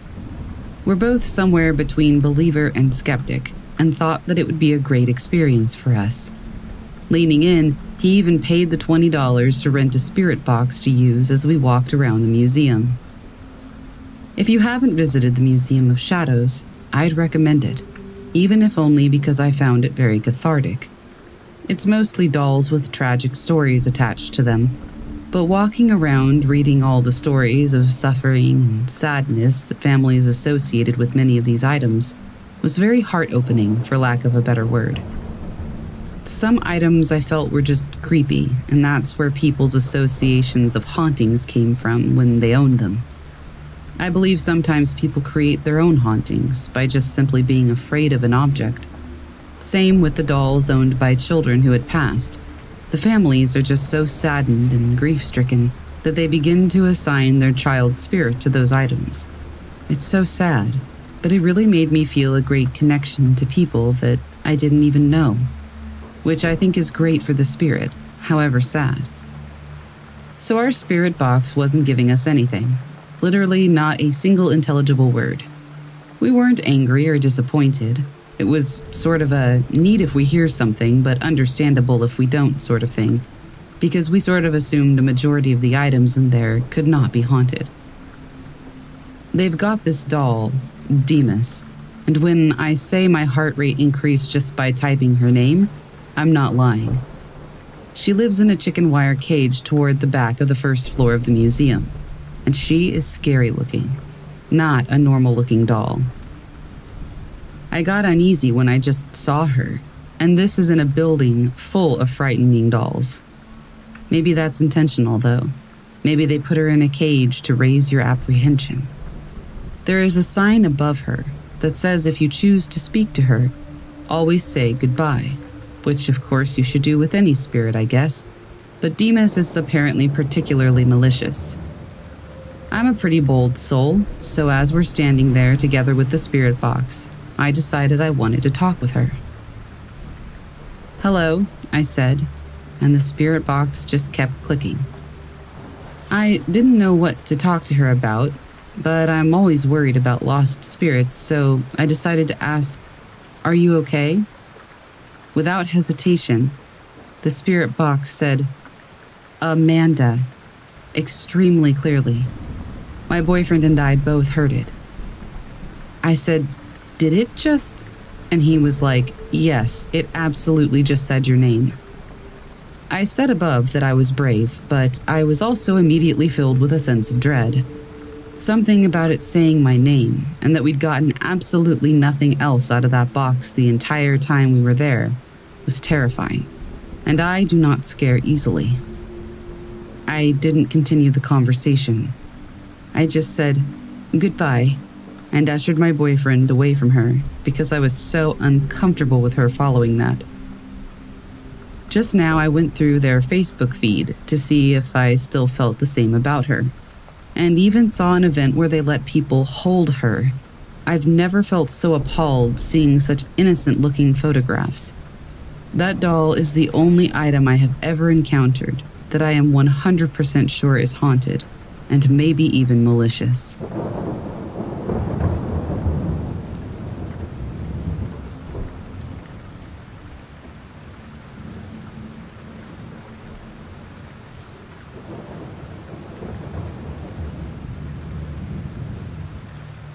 As a really small child, I used to be terrified of a doll that my grandmother had that had been handmade for my mother when she was younger. I had repetitive nightmares where this thing would come to visit me for most of my childhood, and even occasionally as a teenager and adult. The last time that I was around it physically was shortly after my grandmother died, and I still felt uneasy looking directly at it even at 25 years old. My mom sold it during an estate sale to a woman in the town where my grandmother died, and it's lost as far as I know. I had always written off this phobia as some weird, irrational childhood fear, because Raggedy Ann dolls are creepy as hell looking, especially when they're homemade, and I just assumed that it was normal. But the hold this doll had on me that made me feel as if it was staring into the depths of my soul constantly. I just couldn't shake. Then something crazy happened. And after doing some research, I discovered that the real life version of the Annabelle doll matched the Raggedy Ann version my grandmother had almost perfectly. I know most of this is just a coincidence, but I have always felt that something was off about this doll. It harbored bad energy. Oddly enough, after all of this, I have inquired about the doll to my mother, because I feel like I have this weird connection to it. She told me that she never kept it in the house around me when I was younger, because I always cried and became hysterical at night when it was around, so she gave it to my grandmother. I'm just imagining me finding this thing and then driving it home in the middle of the night and crazy things start happening. For the record, I do not believe in ghosts or spirits, but I will go to my grave saying that I picked up on something evil from this doll as a kid. I really wish I had a picture to share, but I honestly avoided this thing as much as possible and always felt that it was looking at me from around the corner at night. I don't know if anybody else has experienced something like this as a kid, where you just knew something wasn't right. It probably sounds dumb, but I honestly believe that something was going on, and my younger self picked up on it.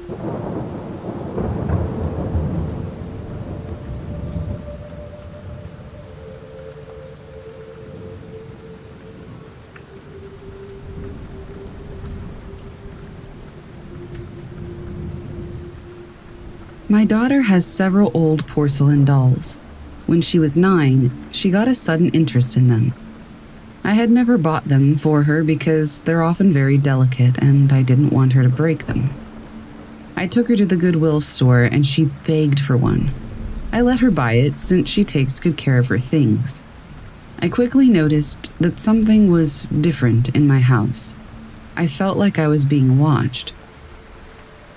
Shortly after that, she asked for another doll at the Goodwill. Over the years, she has collected three. I noticed that she was very careful about which one she picked. She treats the dolls like gold and keeps them sitting up on the corner of her bed. She tells me the dolls like me since I'm so careful with them when I move them to make her bed. I see shadows around my house and I hear soft voices. Nothing that makes me feel in danger, and I'm getting used to it, but it's just freaky, and it never happened until we brought that first doll home.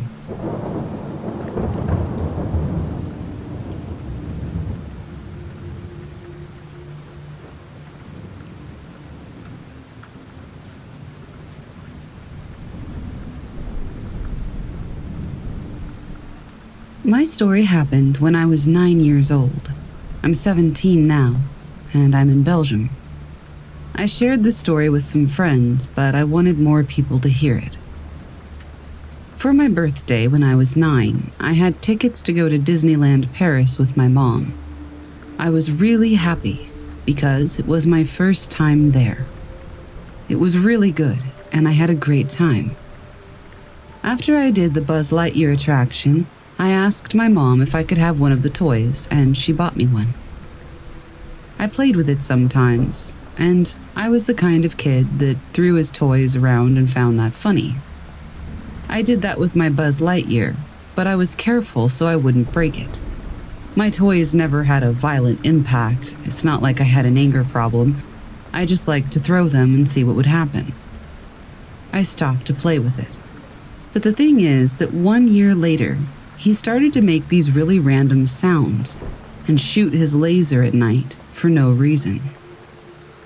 I have glasses, but on my bed I was able to see the red light, and the sound was loud. The thing is that nothing was touching it, and he doesn't have any kind of detection thing on him. Nothing was touching him, so it wasn't supposed to make a sound or talk or shoot or anything. Even if I was young, I didn't believe in ghosts, but this still scared me. It was making sounds only at night when I was in bed asleep or trying to. I was really scared because it just never stopped. I remember asking my dad to please get it out of my room, so he put it in the basement. My basement is really small. But the really creepy thing, the really scary thing that happened, wasn't that. My house has two floors, and it isn't that big. My toilet is super small, and it's next to the basement door. When I was younger, I was really scared of the dark, and I was holding my cat downstairs to go to the bathroom when I needed to and turn the light on because my cat brought me comfort. The scary thing that happened was it was two or three in the morning, and it was really rare that I would ever wake up to go to the bathroom. My mom was often awake, but not that night. When I got down and started to walk to go to the bathroom, at the exact moment that I passed the basement door, my Buzz Lightyear doll started shooting and talking. I immediately went to the bathroom, and I don't remember how much time I stayed in there. Even when I was in the bathroom, it was doing those noises, and I was terrified. I didn't know what to do. At some moment, it was almost like the sound was getting closer and coming upstairs. I don't know if I was just hallucinating because I was really scared or if it was real. The problem is that I really don't remember how I got out of there. I really don't. I know that I probably would have just run up the stairs to get out of there as soon as I could, but I don't remember coming out of that bathroom, or if the toys stopped talking and shooting. But I do remember how scared I was. It was horrible to know that I was the only one awake, but at least I was okay and nothing dangerous happened to me. But it's still the worst night that I've ever had.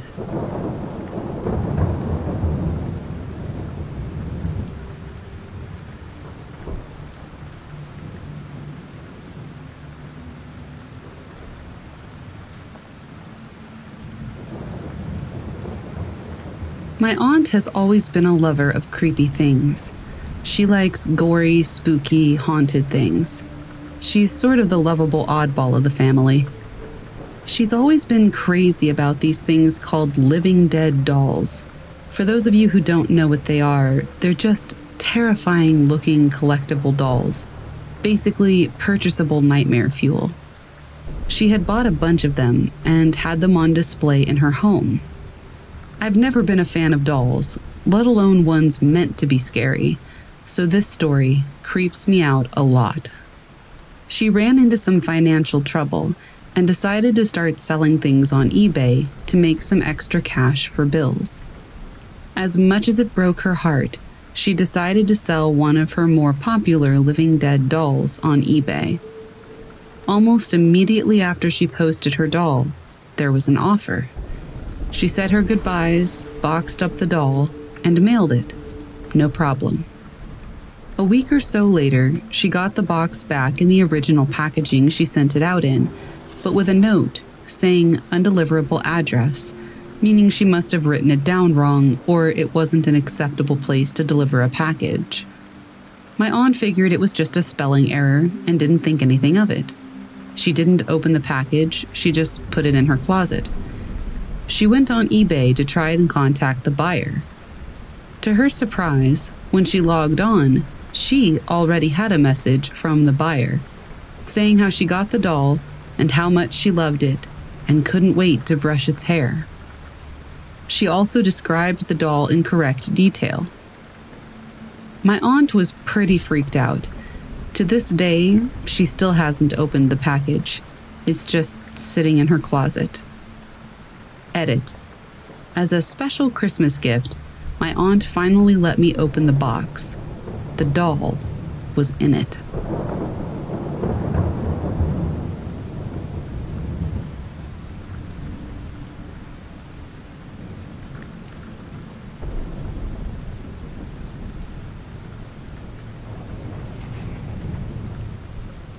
Okay, so this is a story that took place when I was around eight years old in my neighborhood. I was next door neighbors with my best friend, Alex.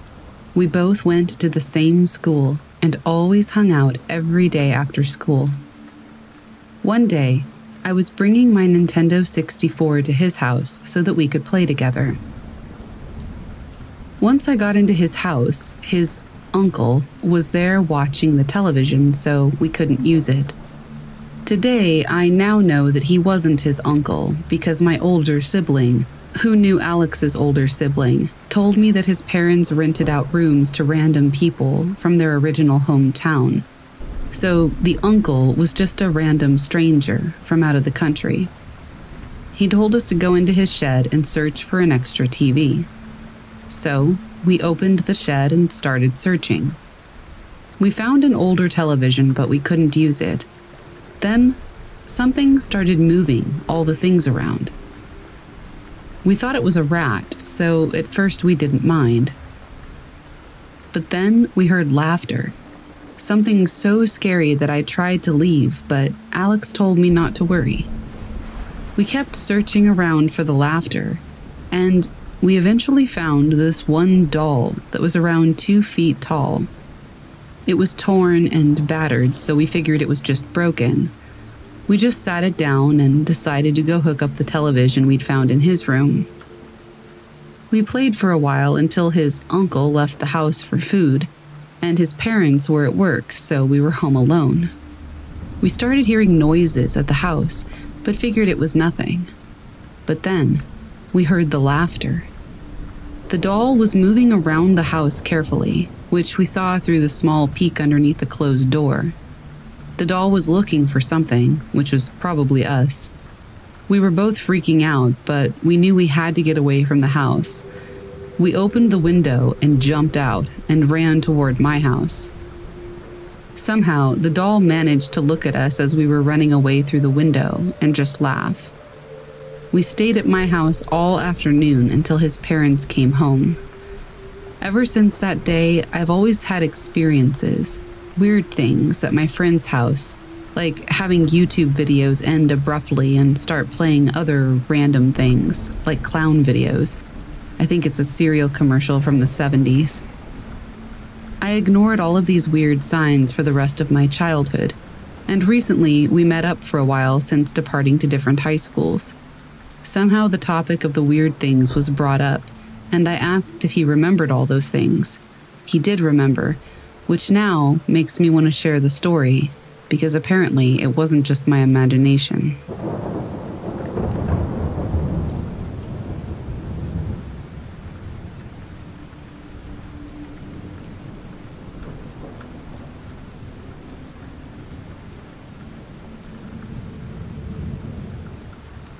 When I was younger, I would go visit my grandparents all the time. They lived in a one floor house with an unfinished basement. I never liked it down there. It felt small for a big basement. There was a little door down there that was for storage, and I always got a horrible feeling when going close to it. Let me add that this was a newer house that was about six years old. Now, during the time that I was about six or seven, I felt so uncomfortable going down there. Even when I was with someone, I didn't like it.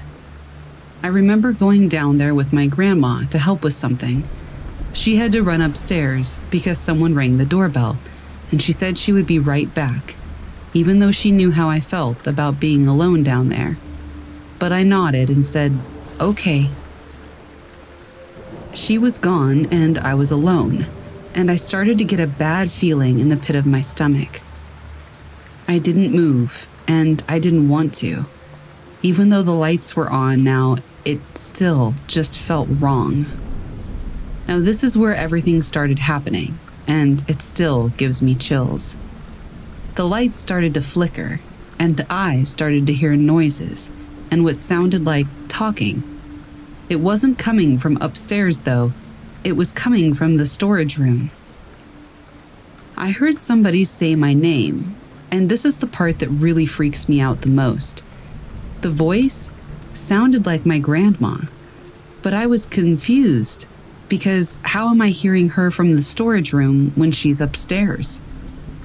I didn't want to move, but me being the curious one I am, I started moving toward the storage room door. The closer I got, the worse the bad feeling became. When I got to the door, the lights turned off in the basement. I wanted to run upstairs and hide, go home, somewhere that wasn't the basement. I heard my name again, for the second time, my grandma's voice, asking me to open the door to help her. So I did. And I regret it.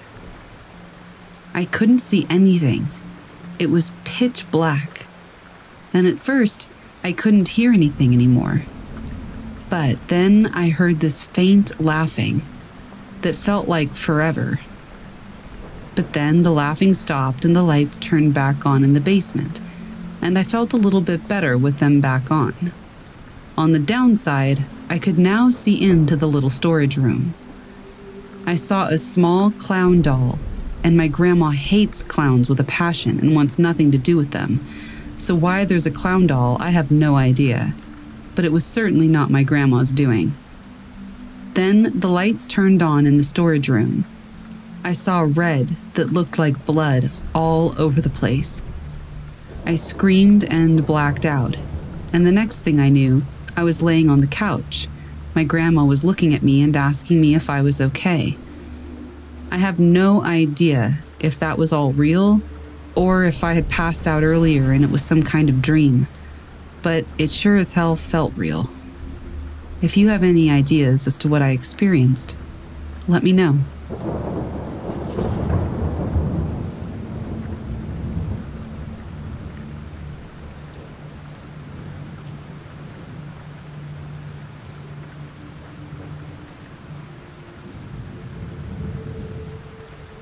I distance hike when I can. Sometimes this means getting up early or staying out late to get as many miles in as possible. Sometimes walking in the pitch dark with a low light headlamp gets spooky. I grew up in the woods of this area. I've slept under the canopy of stars more nights than I can count. I've trekked thousands of miles of trail, riverbank, lake shore, ridge bottoms, bogs, and creeks. I've hunted the game. I'm establishing this because it's important that you understand that I have heard, seen, and smelled about all this region has to offer in the way of wilderness. My scariest experience, though, happened at about 4:30 in the morning. It was late spring, so the first morning light wouldn't be visible in the treetops for another 30 to 45 minutes. Another hour past that until sunrise. I was on mile 5. I'm in a low bottom that's wedged between two steep ridges. The trail I'm on was narrow, muddy, and completely hemmed in by thick underbrush, young maple, and old oak growth. I'm focused on the small light from my headlamp, just one step after the other, zoned out. Then I heard a loud crack, and I froze solid. This is the part I have trouble describing. 4:30 in the springtime means I'm the only thing making noise. No birds chirping, nothing. Dead quiet. Mid step, I froze.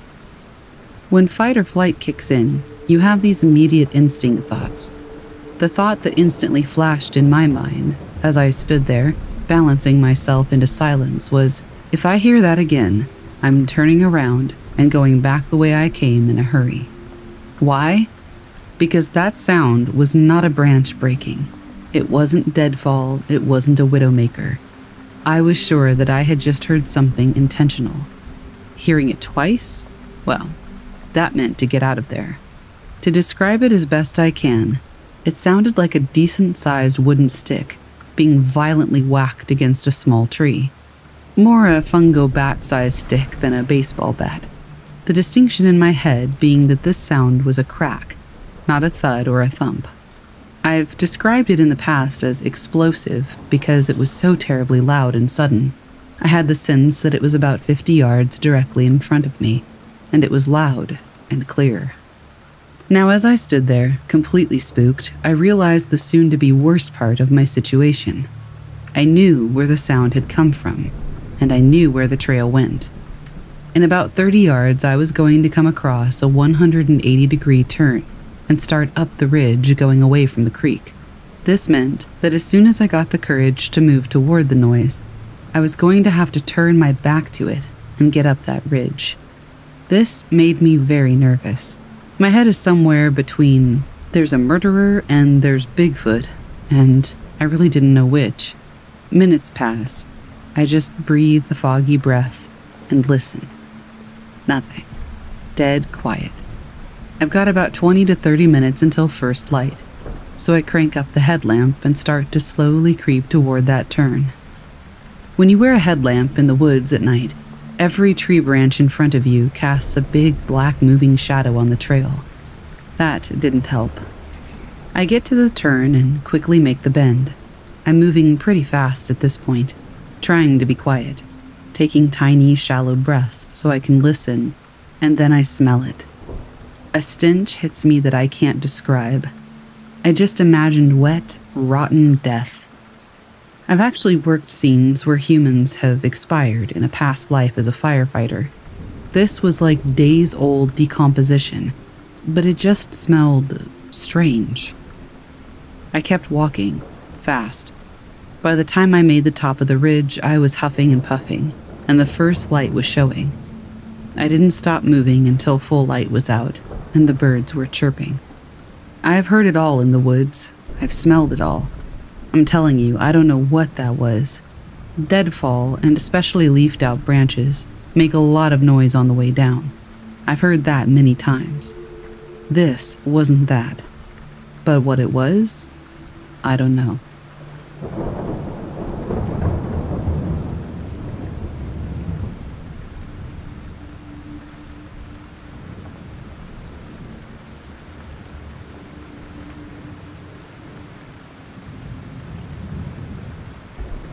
It was somewhere in the middle of the White Mountains in the summer when I walked into what looked like a scene from a horror movie.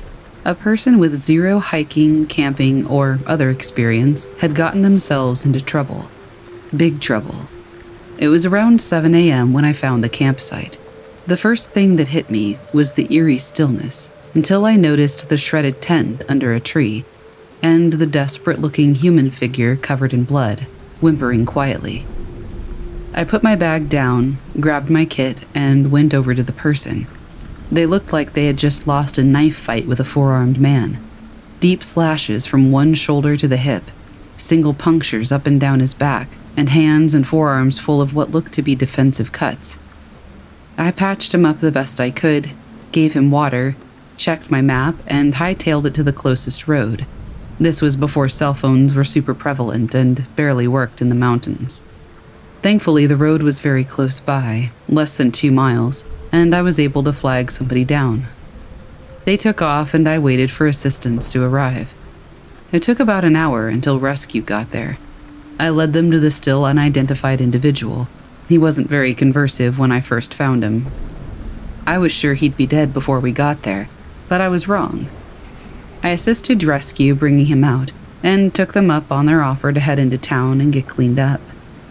After cleaning up and getting myself situated at their station, I went on my way, leaving them my number to call to let me know what was up with the person that we had helped.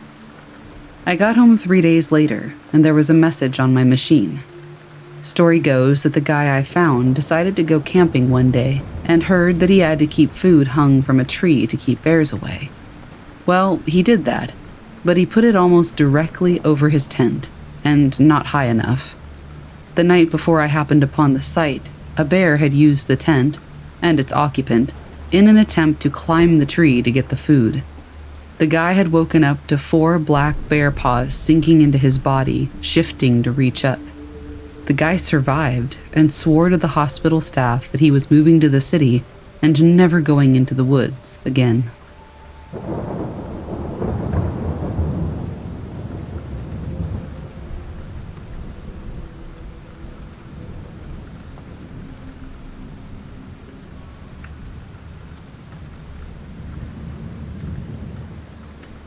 In Sydney, there's this national park drive where people complete runs which consist of trying to complete the drives within a timestamp. I've been doing these so called Nasho runs for a while now with my best friend. Nothing has ever happened before, and the drive through the park is spooky at night, sure, but I've always found comfort in the woodlands or in night drives, so I never really thought anything of it. A few nights ago, three of my friends and I went for a Nasho run, and exactly at the halfway point, we hit a pothole pretty hard, which resulted in a flat tire. So we pulled over to the side on a long road. This place has no reception, and it's in the middle of nowhere, with no way of walking through or back.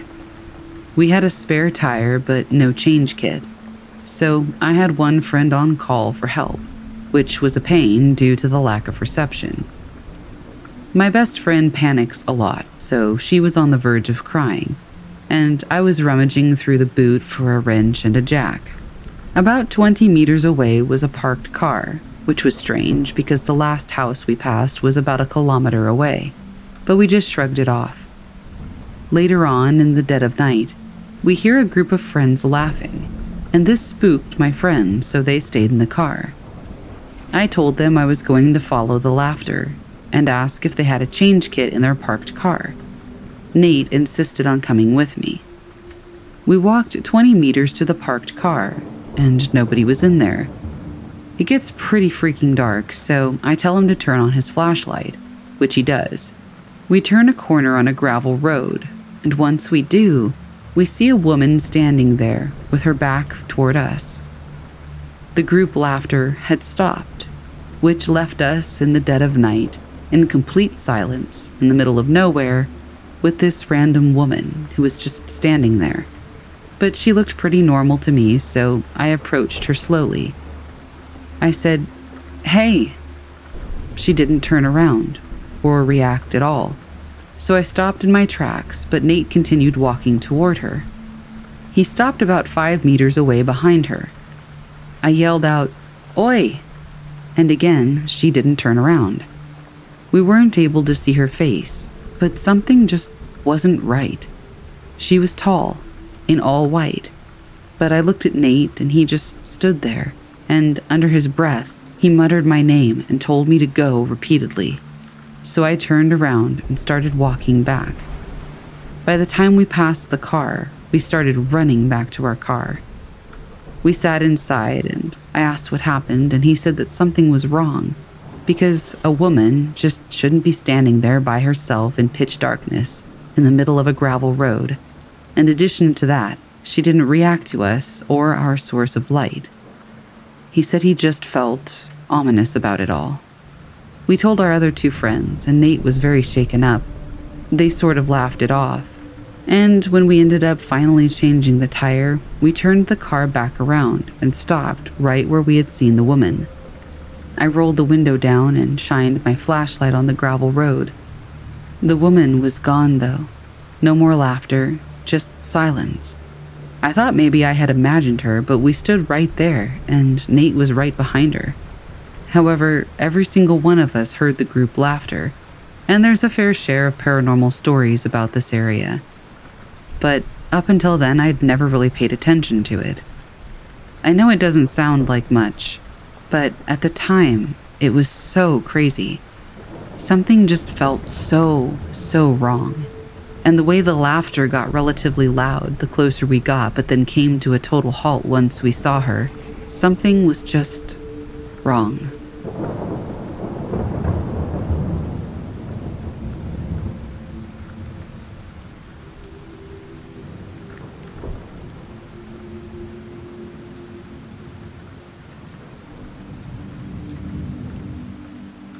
I was hiking a section of the North Umpqua Trail in the northern part of southern Oregon a few years back with my sister in law. It's a 72 mile trail broken into sections that can be easily hiked in a day. At the time, I lived about midway up the trail, fairly remote, in a small community. It was mid fall this one day when we set out.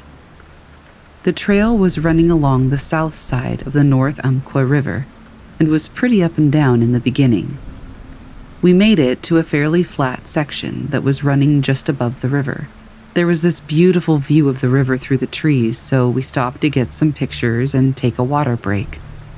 I immediately felt extremely uncomfortable, like somebody was watching us. I slowly turned my head to look behind us, across the trail, and up.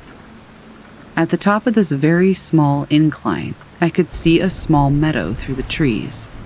Across the meadow, maybe 15 yards from us, was a tent, an old canvas style tent. As I'm looking, I notice bones strung from the trees all around the meadow, like creepy death wind chimes. My stomach just clenched and dropped. I leaned into my sister in law and whispered, do not, not turn around and look behind us. Just continue walking up the trail and run when I tell you.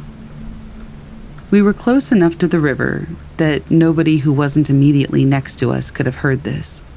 She did exactly as I told her to do, setting off at the brisk walk we'd been at before. We got maybe 10 yards, and I could hear footsteps through the forest floor coming from behind and slightly above us. That part of the forest is very dense. There's thick moss cover under the trees, so footsteps on it make a very specific sound. I leaned forward and told her to pick up her speed. She did. I did. And so did whoever was behind us. I leaned forward again and told her to run as fast as she could and not to stop until I told her so. For two middle aged women, both slightly overweight, we ran like the wind. I just kept telling her, Go, go, go. I could see ahead of us that the trail had an incline and then veered to the right along the river and around a cliff. I knew at that point that whoever it was was going to have to come down onto the trail or stop. We kept running. We probably ran at least a mile after that, even though we could no longer hear anybody behind or above us. That section of the trail was about nine miles, and we weren't halfway when this happened. We eventually slowed down, but just hurried as fast as we could the rest of the way. We had arranged for her younger brother to pick us up. We made it to the next trailhead fairly early, so we made our way out to 138 and started walking east toward home, knowing that he would find us. He did, and was shocked at our story. We got home and immediately called our local sheriff, who lived just above us at the ranger station. He came to the house and heard our story. He explained that it might be a day or two before they could get on the trail, as they had a missing hunter at the time that they were searching for. So a few days go by, and he shows up at our house to let me know that we weren't crazy or imagining things, and that somebody really did chase us. I asked what they found and who it was. He looked at the floor and then looked up and said, I'm not going to tell you what we found or who it was, because if I do, You'll never hike anywhere ever again. What we found was not normal, and it won't happen up here again. He then instructed me to never, ever hike unarmed again. I never found out what they found or who it was. I never hiked that section of trail again, and it completely burned last year. I also never hike unarmed, ever. That was huge for me because I wasn't really a gun person at the time. But I am a living person, and I'd like to stay that way, so I took his advice. I had many incidents living up there in the national forest with wild animals and other strange things, but nothing ever scared me as much as another human did that day.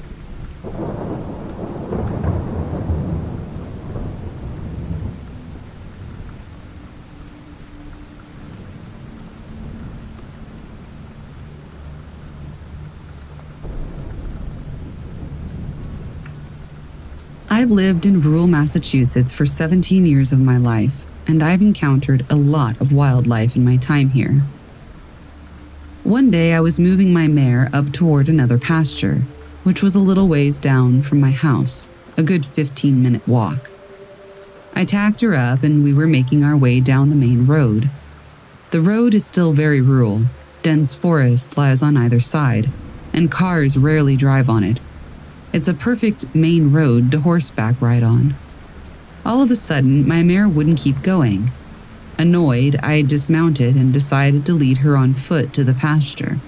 We were making our way around a corner when I noticed my mare's gaze fixated on something.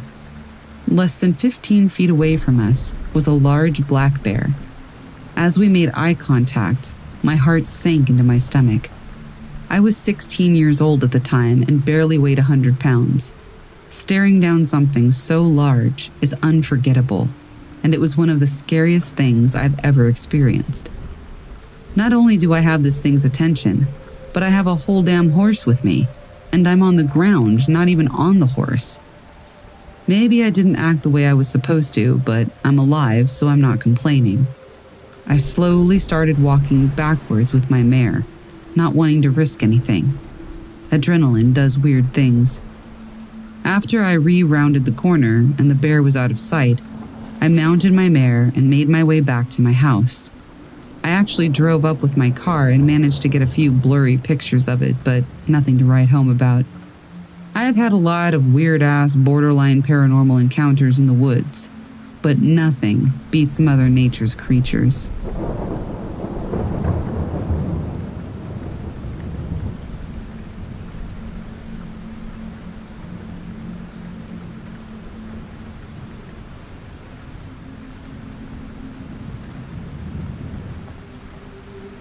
Sheriff's deputy in a fairly busy county. Along with the job comes the unfortunate familiarity with what a decomposing human body smells like. To me, it's very similar to an animal carcass, but with a much sweeter odor. Not sweet in the sense that I enjoy it, hell no. That smell normally means a bad night for me and another gruesome memory to add to my catalog of things I would rather forget. With that out of the way, I'll get to what happened. Last night, I was patrolling a geographically isolated area of the county, which is very large and sparsely populated. Having completed the hour long trek to the northwestern county line, I began driving through the mountains back toward civilization. About 25 miles from town, or the closest semblance thereof, I hit a straight stretch of highway through a wide valley. Since the weather was nice, I had my windows rolled down. As I passed the entrance of an old logging road, that familiar smell of sweet rot suddenly filled my car. Not just a whiff, a cloud of it filled the cab as if there was a week old human corpse sitting in the front seat next to me. It was all too familiar, but this time there was something else that I couldn't place. It lingered for a few moments, then went away just as quickly as it had entered. Realizing what I had just smelled, my heart sank and I pulled to the side of the road. I told myself it was just a dead animal in the ditch and that my mind was playing tricks on me. I turned my car around and drove slowly back toward the logging road. The closer I got to it, the smell became stronger, and I grew more certain that I was about to find a body. Holding on to a shred of hope that I was wrong, I parked my unit on the side of the highway just before the dirt road. I radioed dispatch, told them my location, and that I would be out of my unit for a moment. I didn't say why to avoid an awkward disregard on a possible body on the side of the road. I shined my flashlight into the ditch and into the encroaching briars and weeds as I walked closer to where I believed the source of the smell was. Once I was a few yards away from the dirt road, I saw the opening of a concrete culvert going under the highway. At this point, the smell was nearly as strong as it had been when I first passed. The opening of the culvert was about three feet in diameter, just large enough to hide a body inside. I cursed and held my breath as I leaned over and shined my light inside. An empty tunnel stretched the width of the highway. Somewhat relieved, I stood and looked around. It smelled as if I was standing on top of whatever was emitting the odor. I searched around the brush for a moment, but found nothing. Thinking the origin might be on the opposite side of the highway, I crossed to the other ditch to continue searching. As I walked away from the other side of the road, the smell grew faint. I stopped at the opposite end of the culvert and peeked inside, just to double check. The odor was nearly gone at this point. I stood up and checked my surroundings when I heard a crack in the brush behind me, and the smell engulfed me even stronger than before. Thinking for a moment that the wind must have shifted, I froze when I realized the air was dead still. Whether it was fear or something else, a shiver went down my spine. In the distance, I saw headlights coming down the highway. As the car came near, the odor seemed to move away, farther into the bushes toward where I had heard the crack. The car stopped, and the passenger rolled down the window and asked if I was all right. I lied and told him that I was. I thanked him for checking, and I walked briskly to my car as they drove away. I got the hell out of there. Once I was able to get cell service, I called my friend who was patrolling the opposite side of the county. I explained what had happened, trying not to let on that I was spooked. Once I was done, he paused for a moment, then asked about the unusual hint of something which accompanied the smell. He asked if it was sulfur, and I put two and two together. It was sulfur that I had smelled. I asked if he thought I had found a demon in the middle of nowhere.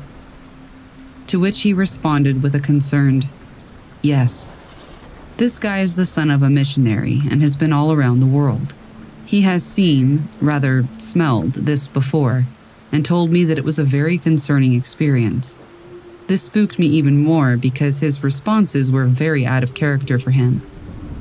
Maybe something else happened, maybe there's some shred of a possibility that there's a scientific explanation. But honestly, I think I agree with my friend. I think there's a demon in the valley.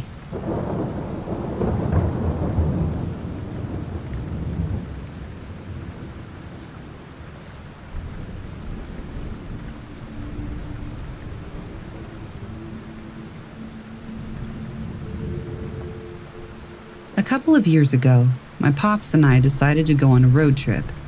It was very out of the blue. I wasn't even expecting it, but I decided to go anyway. It would be some solid father son bonding time. After driving for what seemed like a couple of hours, it was maybe around 8 to 9 p.m., we pulled up into this gas station for snacks and water and to use the bathroom. And we went back inside our car. Keep in mind, this gas station was basically in the middle of nowhere. Anyway, we got back into our car and decided to look for a motel, but there were none. And I mean, there wasn't a single one anywhere near us. My dad was really tired, so we decided to sleep in the car. We pulled up into this sort of resting area slash parking lot and decided to go to sleep. My dad fell fast asleep, but I was on my phone for a couple of hours, and around 11 p.m., I just felt suffocated by the tense air, and I decided to step out for a bit. I felt safe because the gas station was still in sight, and there would be a couple of trucks that would occasionally drive by, so I felt at ease. At this time, I was also texting my friend who lives in Seattle, Washington, and we were on the phone for a bit. Then I saw what looked like a large cornfield. I was a city guy, so I'd never seen a cornfield in real life, so I decided to cross the road and just get a closer look. So that's what I did.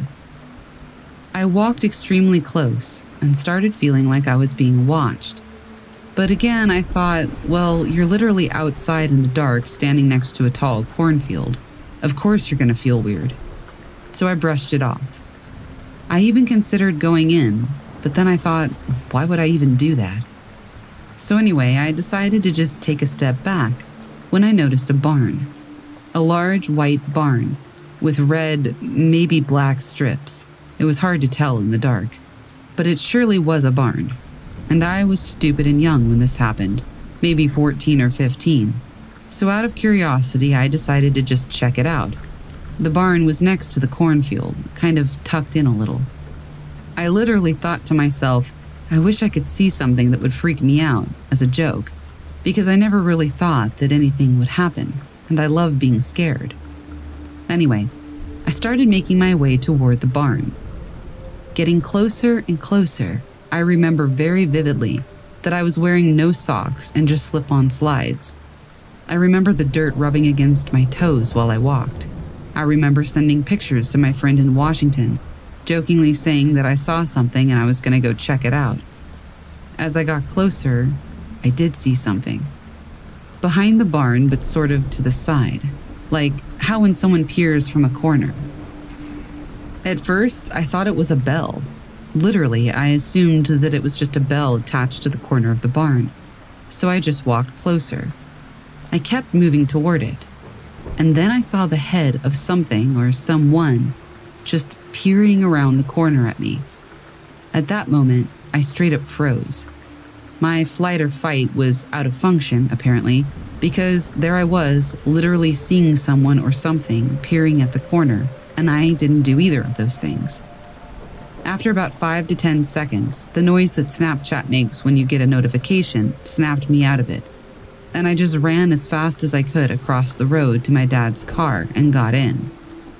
I felt a sense of relief wash over my body, and somehow my dad was not awake. Me gasping for air wasn't enough to stir him from his sleep, I guess. I really considered waking him up and telling him that we have to leave, and telling him what I saw. But he would assume that I was joking or having some kind of episode, since he's never believed in anything paranormal or out of the ordinary at all. I took deep breaths and just texted my friend telling her what I saw, but she didn't believe me. I don't blame her, and I won't blame any of you either if you don't believe me. I have a hard time actually believing what I saw sometimes but I know it was real. I was sober and fully aware. But from the bottom of my heart, the part that disturbs me the most is that whatever was peering at me from around that corner was very tall, at least seven, maybe eight feet tall. And every time I think about that, I get a sense of dread and paranoia. I haven't told any of my family, not even my dad. But if any of you have a clue of what I might have seen, let me know. I wasn't hallucinating. And this was way before I figured out anything to do with psychedelics or drugs in general. I've been trying to piece it together ever since it happened. I was sort of 50 50 on paranormal encounters before, but after that experience, I believe. I believe in walkers and wendigos and ghosts and everything pretty much. It's completely changed me. I want to know what's out there. I want to know what I encountered.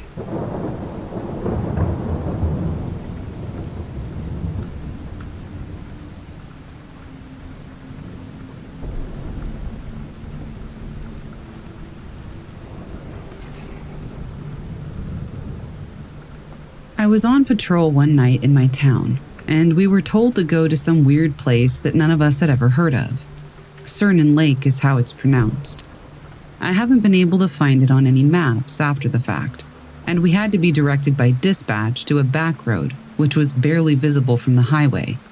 Grass had grown over most of it, and you could only see tiny gravel rocks here and there.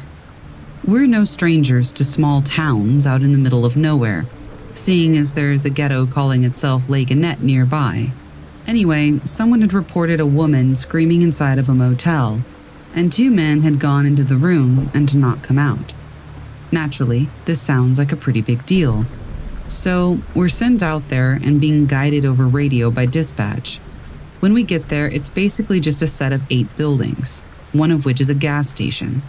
There were no pumps, and it was basically just a house with a concrete drive in. The motel is the closest thing to the road. A bunch of people, maybe about nine, were standing outside the motel. Most of the lights inside were on, and at first we didn't hear any screaming. We tried briefly to talk to the people outside about what was going on, but everyone said something along the lines of, I don't know, I just woke up because of all the screaming.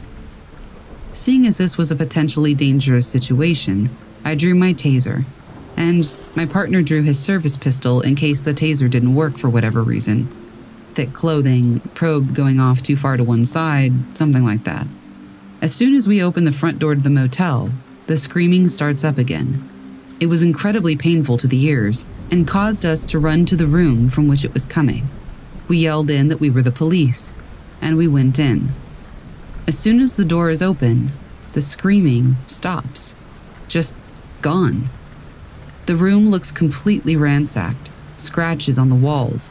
No blood, though. Nothing seems to be missing, just misplaced or damaged. The bathroom was completely clean, no scratches. Closets were empty. We looked under the beds, even, and nothing was there. We poked around for as long as we felt was necessary and radioed in that we didn't find anything. We waited for other people to come out and help. We left and went back to the station and wrote up written reports. We still have absolutely no idea what happened. Investigators don't have any idea, and we haven't heard anything from the lake town since. I've been having sleep paralysis fairly frequently, hearing scratching on the walls and footsteps, as well as nightmares. None of this happened until we went there. I've been working with a psychiatrist to deal with it, currently trying Ambien to see if it'll keep me from experiencing sleep paralysis. I've been tempted to go out there again on my own time, but I haven't been able to work up the nerve. Our department can't afford body cams for everybody since we're a small town department. We can barely afford repairs on our vehicles, so we didn't get any footage. I have no idea what this might have been. I'm leaning towards some kind of elaborate prank, but it just seems odd. Like, it would have taken way too much effort to actually fake it to be worth it. We've seen the guy who owns the so called gas station coming to our gas stations and filling up gas cans. He puts them in the back of his pickup and drives back toward the highway with them. I also asked around as the post office said that they do occasionally get mail to and from there, but it's mostly tax stuff. I haven't been able to find it on any maps, The view is blocked by trees on Google Earth, and you can't really see the turnoff on the highway. I've been having trouble finding really any official records related to it, aside from a case file from the early 90s, before I was even born, about a textbook domestic disturbance.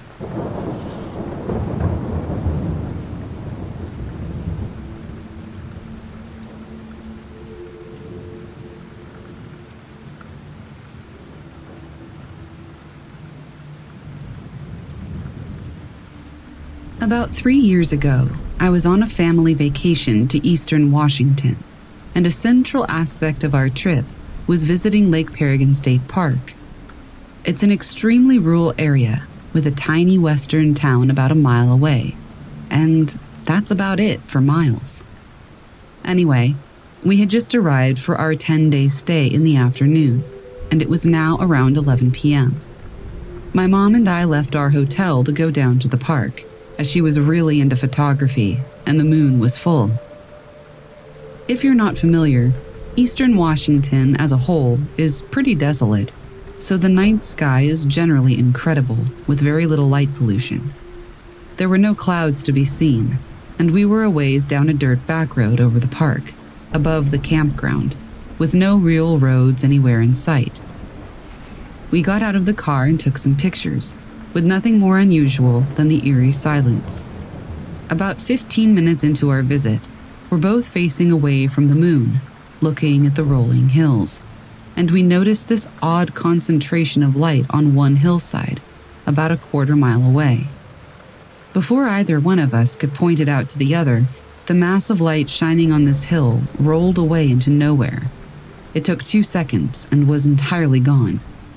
The whole hillside was brightly lit up, and then nothing. We freaked out and got out of there as fast as humanly possible. We both saw it. There were no other people, no moving clouds, and no roads from which headlights could shine. We still have no explanation for what we witnessed.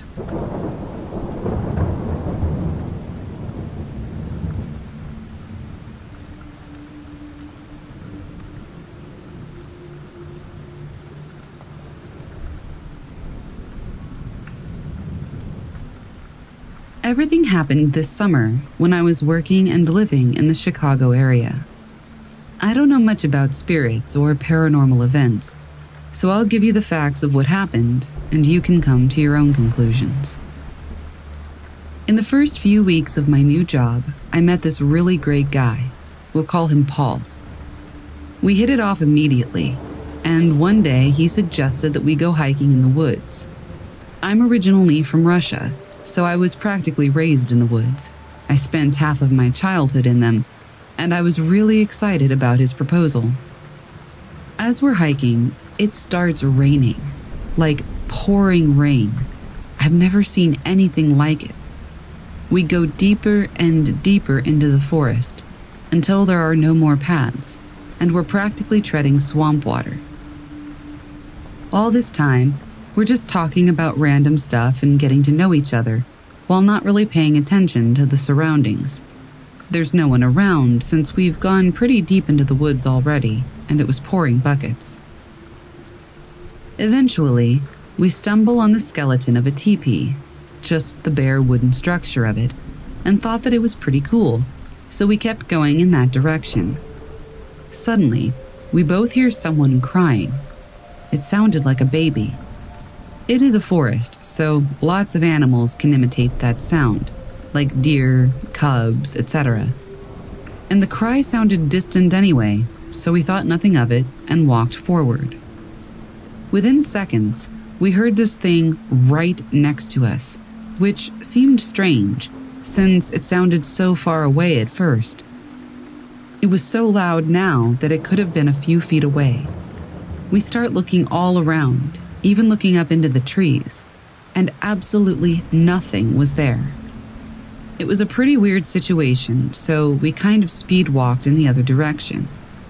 As soon as we stopped for a break, the sound starts up right next to us again.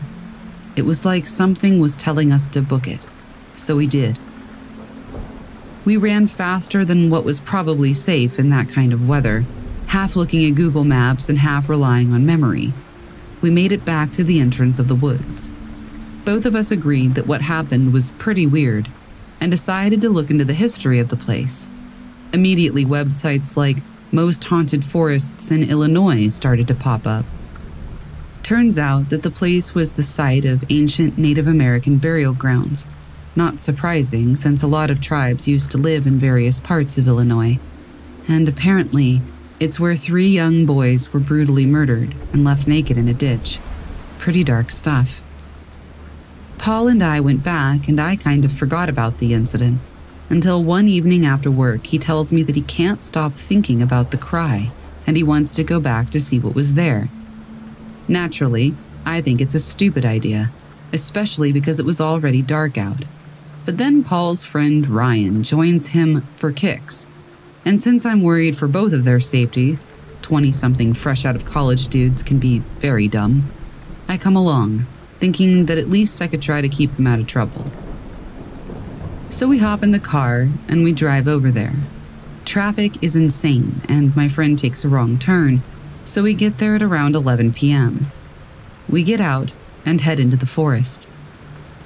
Now, there's no streetlights anywhere near us, except right at the edge of the road, and flashlights can only do so much, so our visibility is pretty bad. We eventually get to a small wooden bridge that leads us across the river into the actually deep part of the forest. As soon as we cross, I start feeling uneasy. We weren't supposed to be in the woods that late in the first place, but this was a deeper feeling of guilt, like we were intruding or disturbing something that was there. Ryan, who's been leading the way and feeling all confident and cocky, saying that there's nothing out here, stops all of a sudden. On the other side of the bridge, the three of us were hit with this feeling of dread and panic, one that I've never felt before in any forest and I've been to lots, both in the day and at night. We all exchange nervous looks, and suddenly, we hear crunching coming toward us from the dark. The feeling at this point gets so intense that Ryan, confidently walking ahead seconds ago, now looks uneasy and says, I think we should go back. We all slowly turn around and start speed walking toward the bridge. No one talks until we get to the other side. And Ryan says, I, I was just nervous because, you know, it might have been a homeless person and I didn't want to deal with that. Right. Eventually, we get to the road where our car was parked, along the side. And that's when I see a girl, maybe in her early 20s, just walking along the highway. She was wearing very little clothing and looked a little strange. Her walk wasn't a drunk one, she just seemed to be almost. I don't know the right word for it, but vibrating? Undulating? I'm not sure. But there wasn't a building around for miles, just straight road. My stepdad is Malaysian, and he's told me a bunch of ghost stories about young ghost women on the side of the road killing drivers. But I was willing to risk it because I didn't want to leave this girl all alone, ghost or no ghost, so I convinced Paul to slow down a bit when we got to her.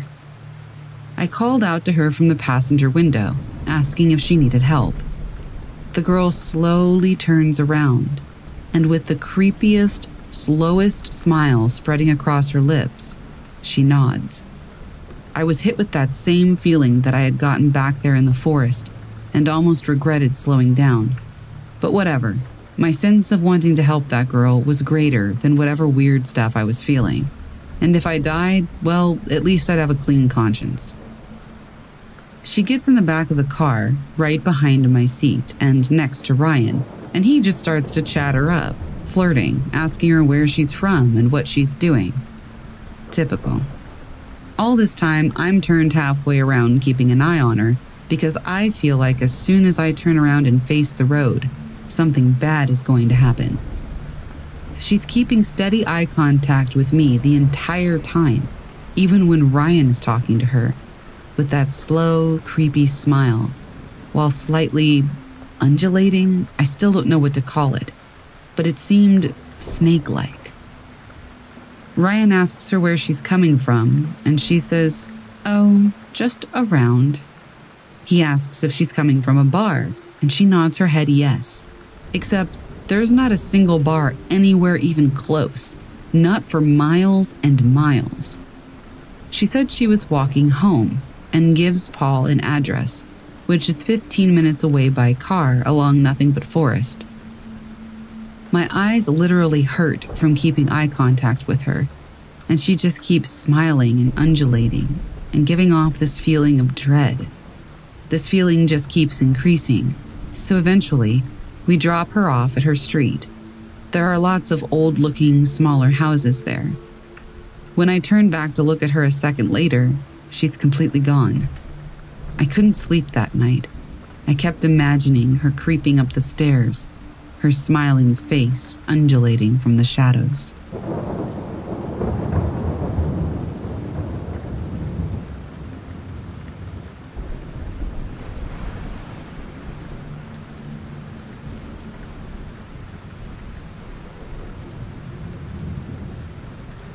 When I was young, I attended the local scout group based in my village in Hampshire.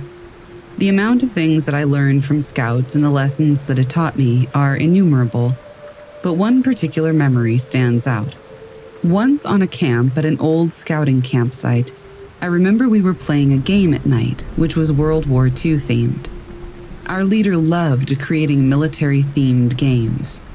In this game, each team had a bomb, a colored string of wool, that they had to fix to the enemy base which was a random piece of rope that was put up in the woods, making sure not to get caught by the enemy soldiers, which were the leaders carrying flashlights.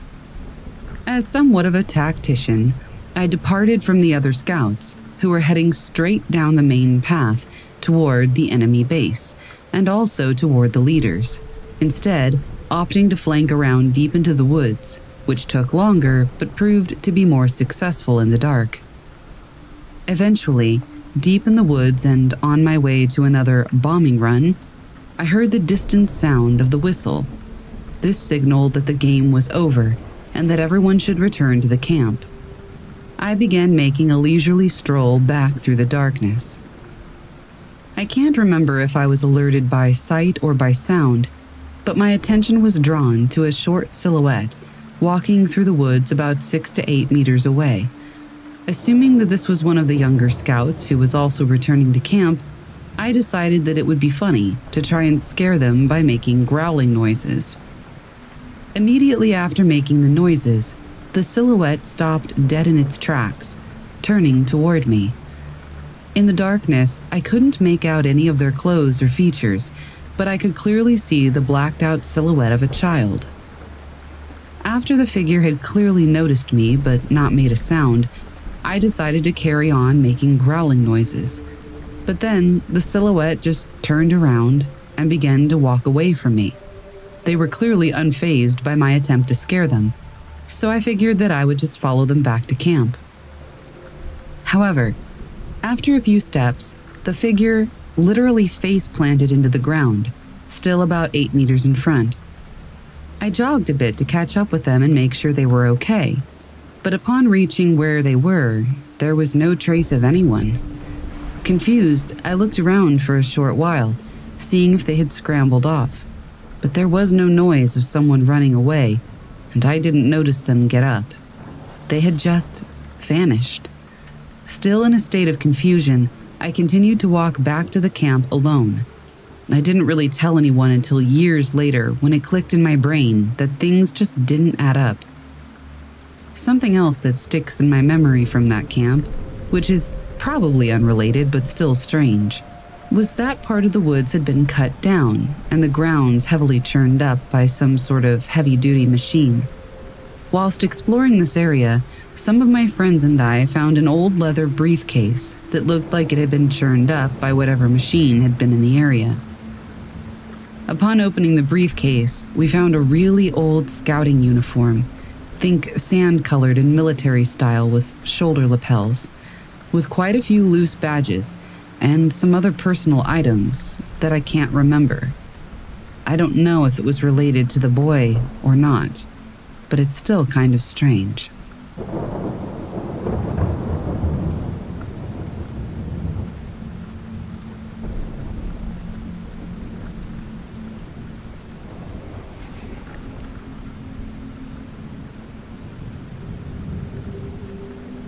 These events occurred two summers ago in the Grand Teton area. My boyfriend at the time, now husband, let's call him Harry, was an avid outdoorsman and also served in the military. I was an ecology major and wanted to spend more time outdoors, so he decided to take me on my first backpacking trip, just the two of us. For those who aren't familiar, the Grand Tetons are well known for their wildlife, specifically grizzly bears. My only experience with bears up to this point was watching a little black bear cross the road from the safety of my car. Seeing grizzly country signs around every corner wasn't doing much to calm my nerves. The first incident.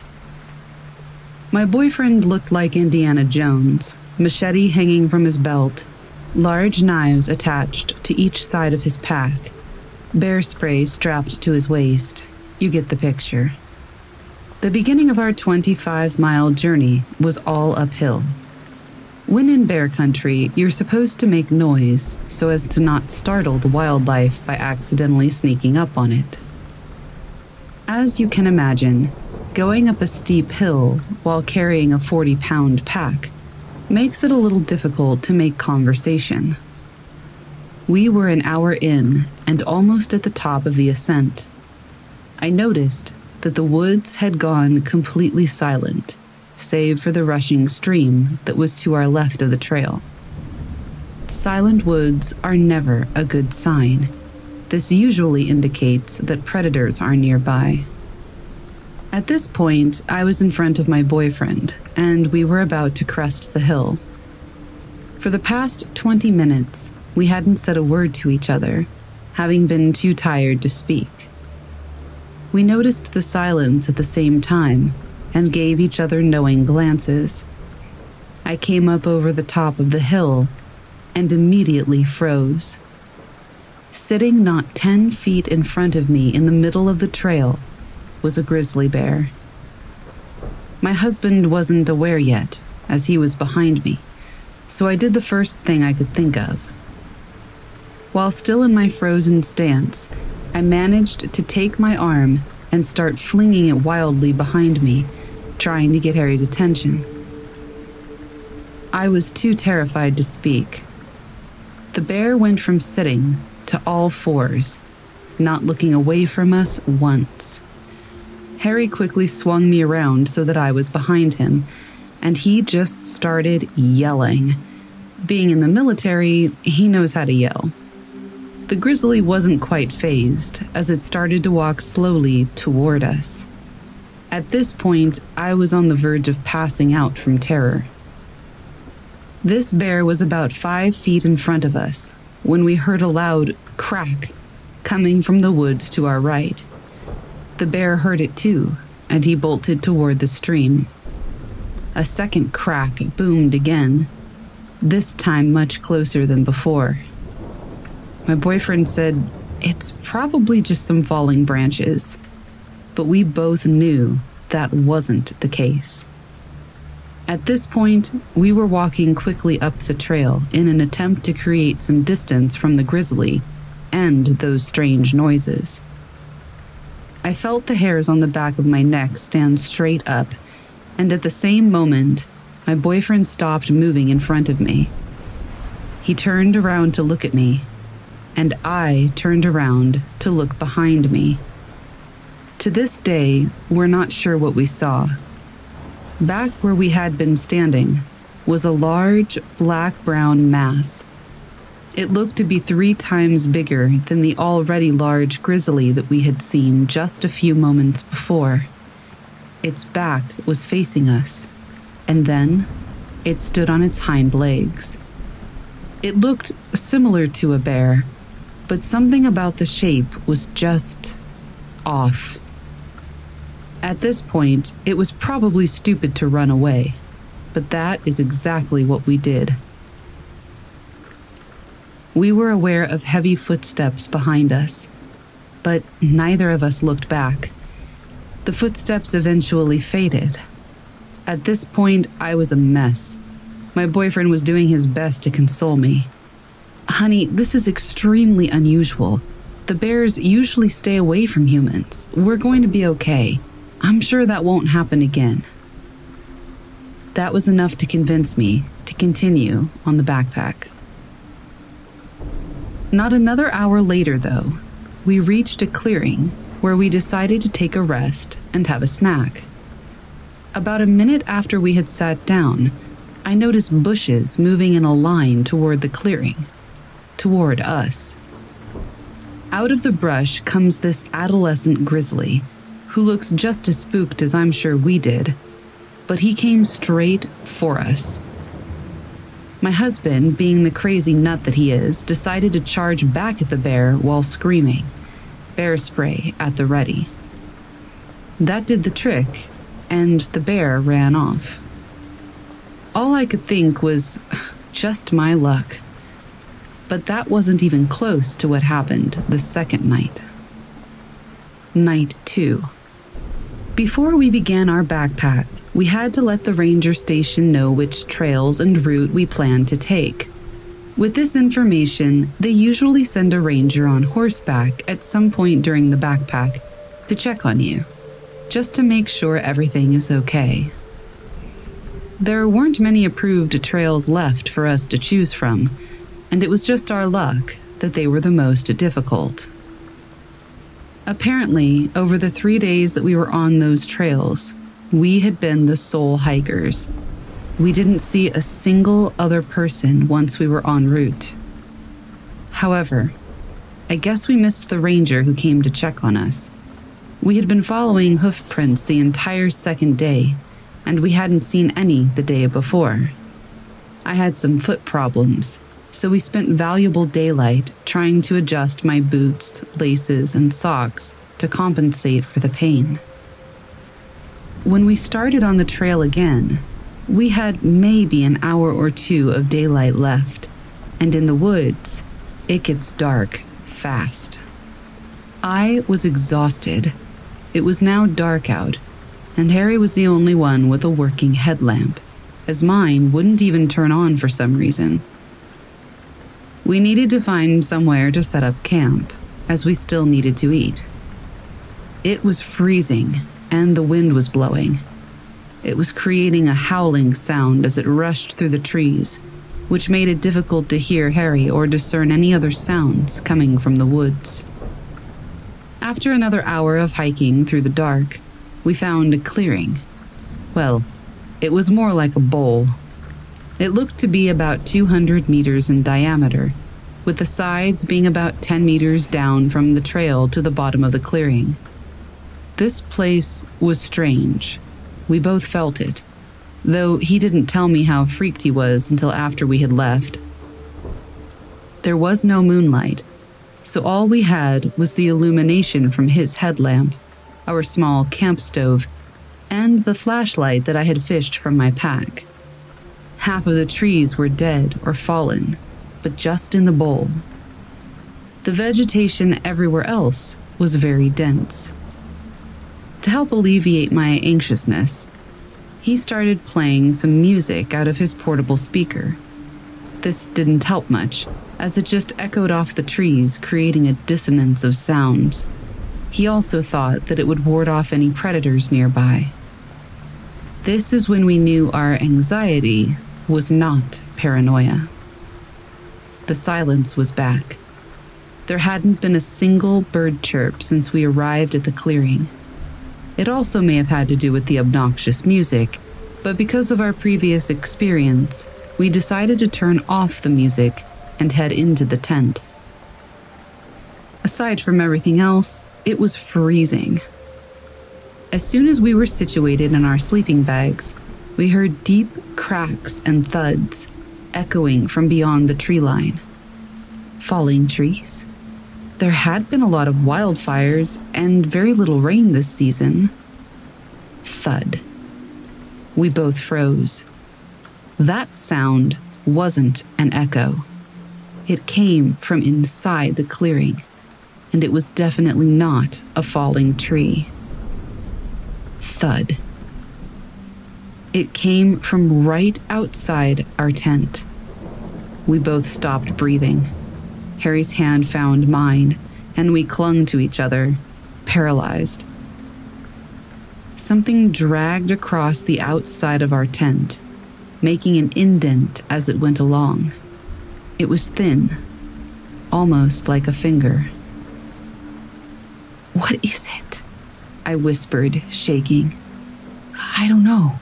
It shouldn't be a person. We're the only ones on this side of the mountain.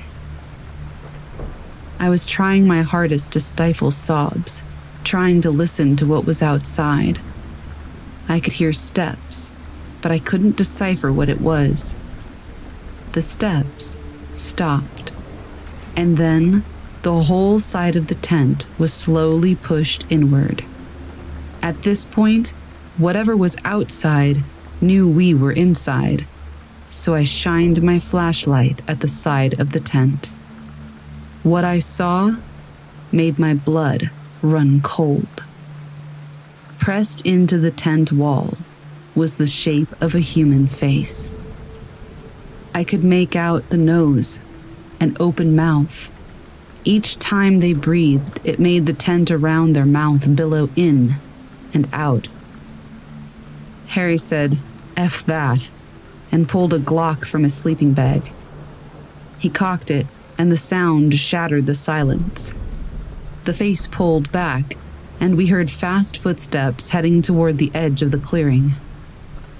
We didn't leave the tent till the sun was shining the next morning. The first thing we noticed was the smell of urine. We came out of the tent and looked around. Whoever it was had peed on our coals that we had left on the fire, leaving a disgusting stench of evaporated pee. Footprints surrounded our tent, circling around it multiple times.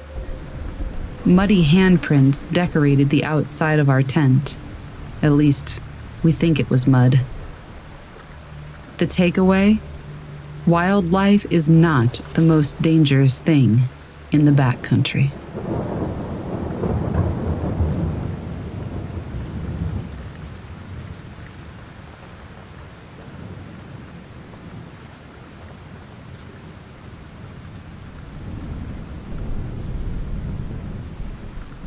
I guess this story is a little boring, but it just happened to me, so here you go.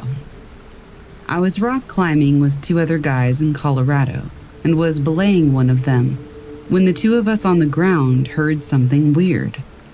The commands we use to communicate that we are safe at the top of a route are name the guy on the ground, off belay, which prompts the belayer to unclip the rope from his belay device so the climber can pull slack out of the rope. The response to that command is name of the guy at the top of the route, belay off. The climber was approximately 40 meters up on an about 50 meter route. I didn't know this at the time. The rope stopped moving, which isn't uncommon when someone is having a hard time with a move or is setting up an anchor, which is what we thought was going on. But then we heard it. A voice that sounded way closer to the ground like close enough that we could have had a shouting conversation, and way farther left off route of where the climber should have been, said, My name, off belay. I looked at the other guy in our climbing party who was just as confused as I was. He said to me, What the F was that? And we discussed where the climber should be at this time and that we shouldn't be able to hear him that well.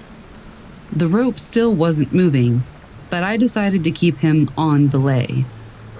I figured it would be best to keep him safe and just feed Slack through my belay device in the event that it wasn't him. Turns out it wasn't. A few moments later, the rope starts moving again, later, followed by a faint syllable counted, my name off belay, that sounded way more like it should have. We didn't really think anything of it but we had been traveling down the wall and hit a few routes without seeing anyone. We also had a friend just a few months ago that got burned in on a route when someone took him off belay when he wasn't safe. I remember seeing a video of a hiker or rancher or something walking down the road when he hears the voice of a woman calling him off the road. The guy stops to figure out what's going on, then just gets out of there because of how weird it was. I'm starting to wonder if there's a cryptid that can mimic the voice of a certain person.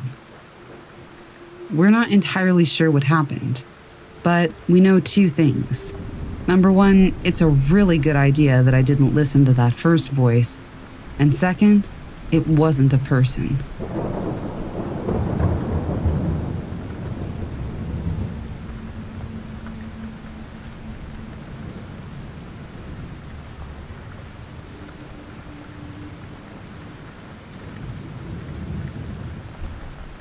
My grandmother, on my mother's side, has always been very superstitious, for lack of a better word.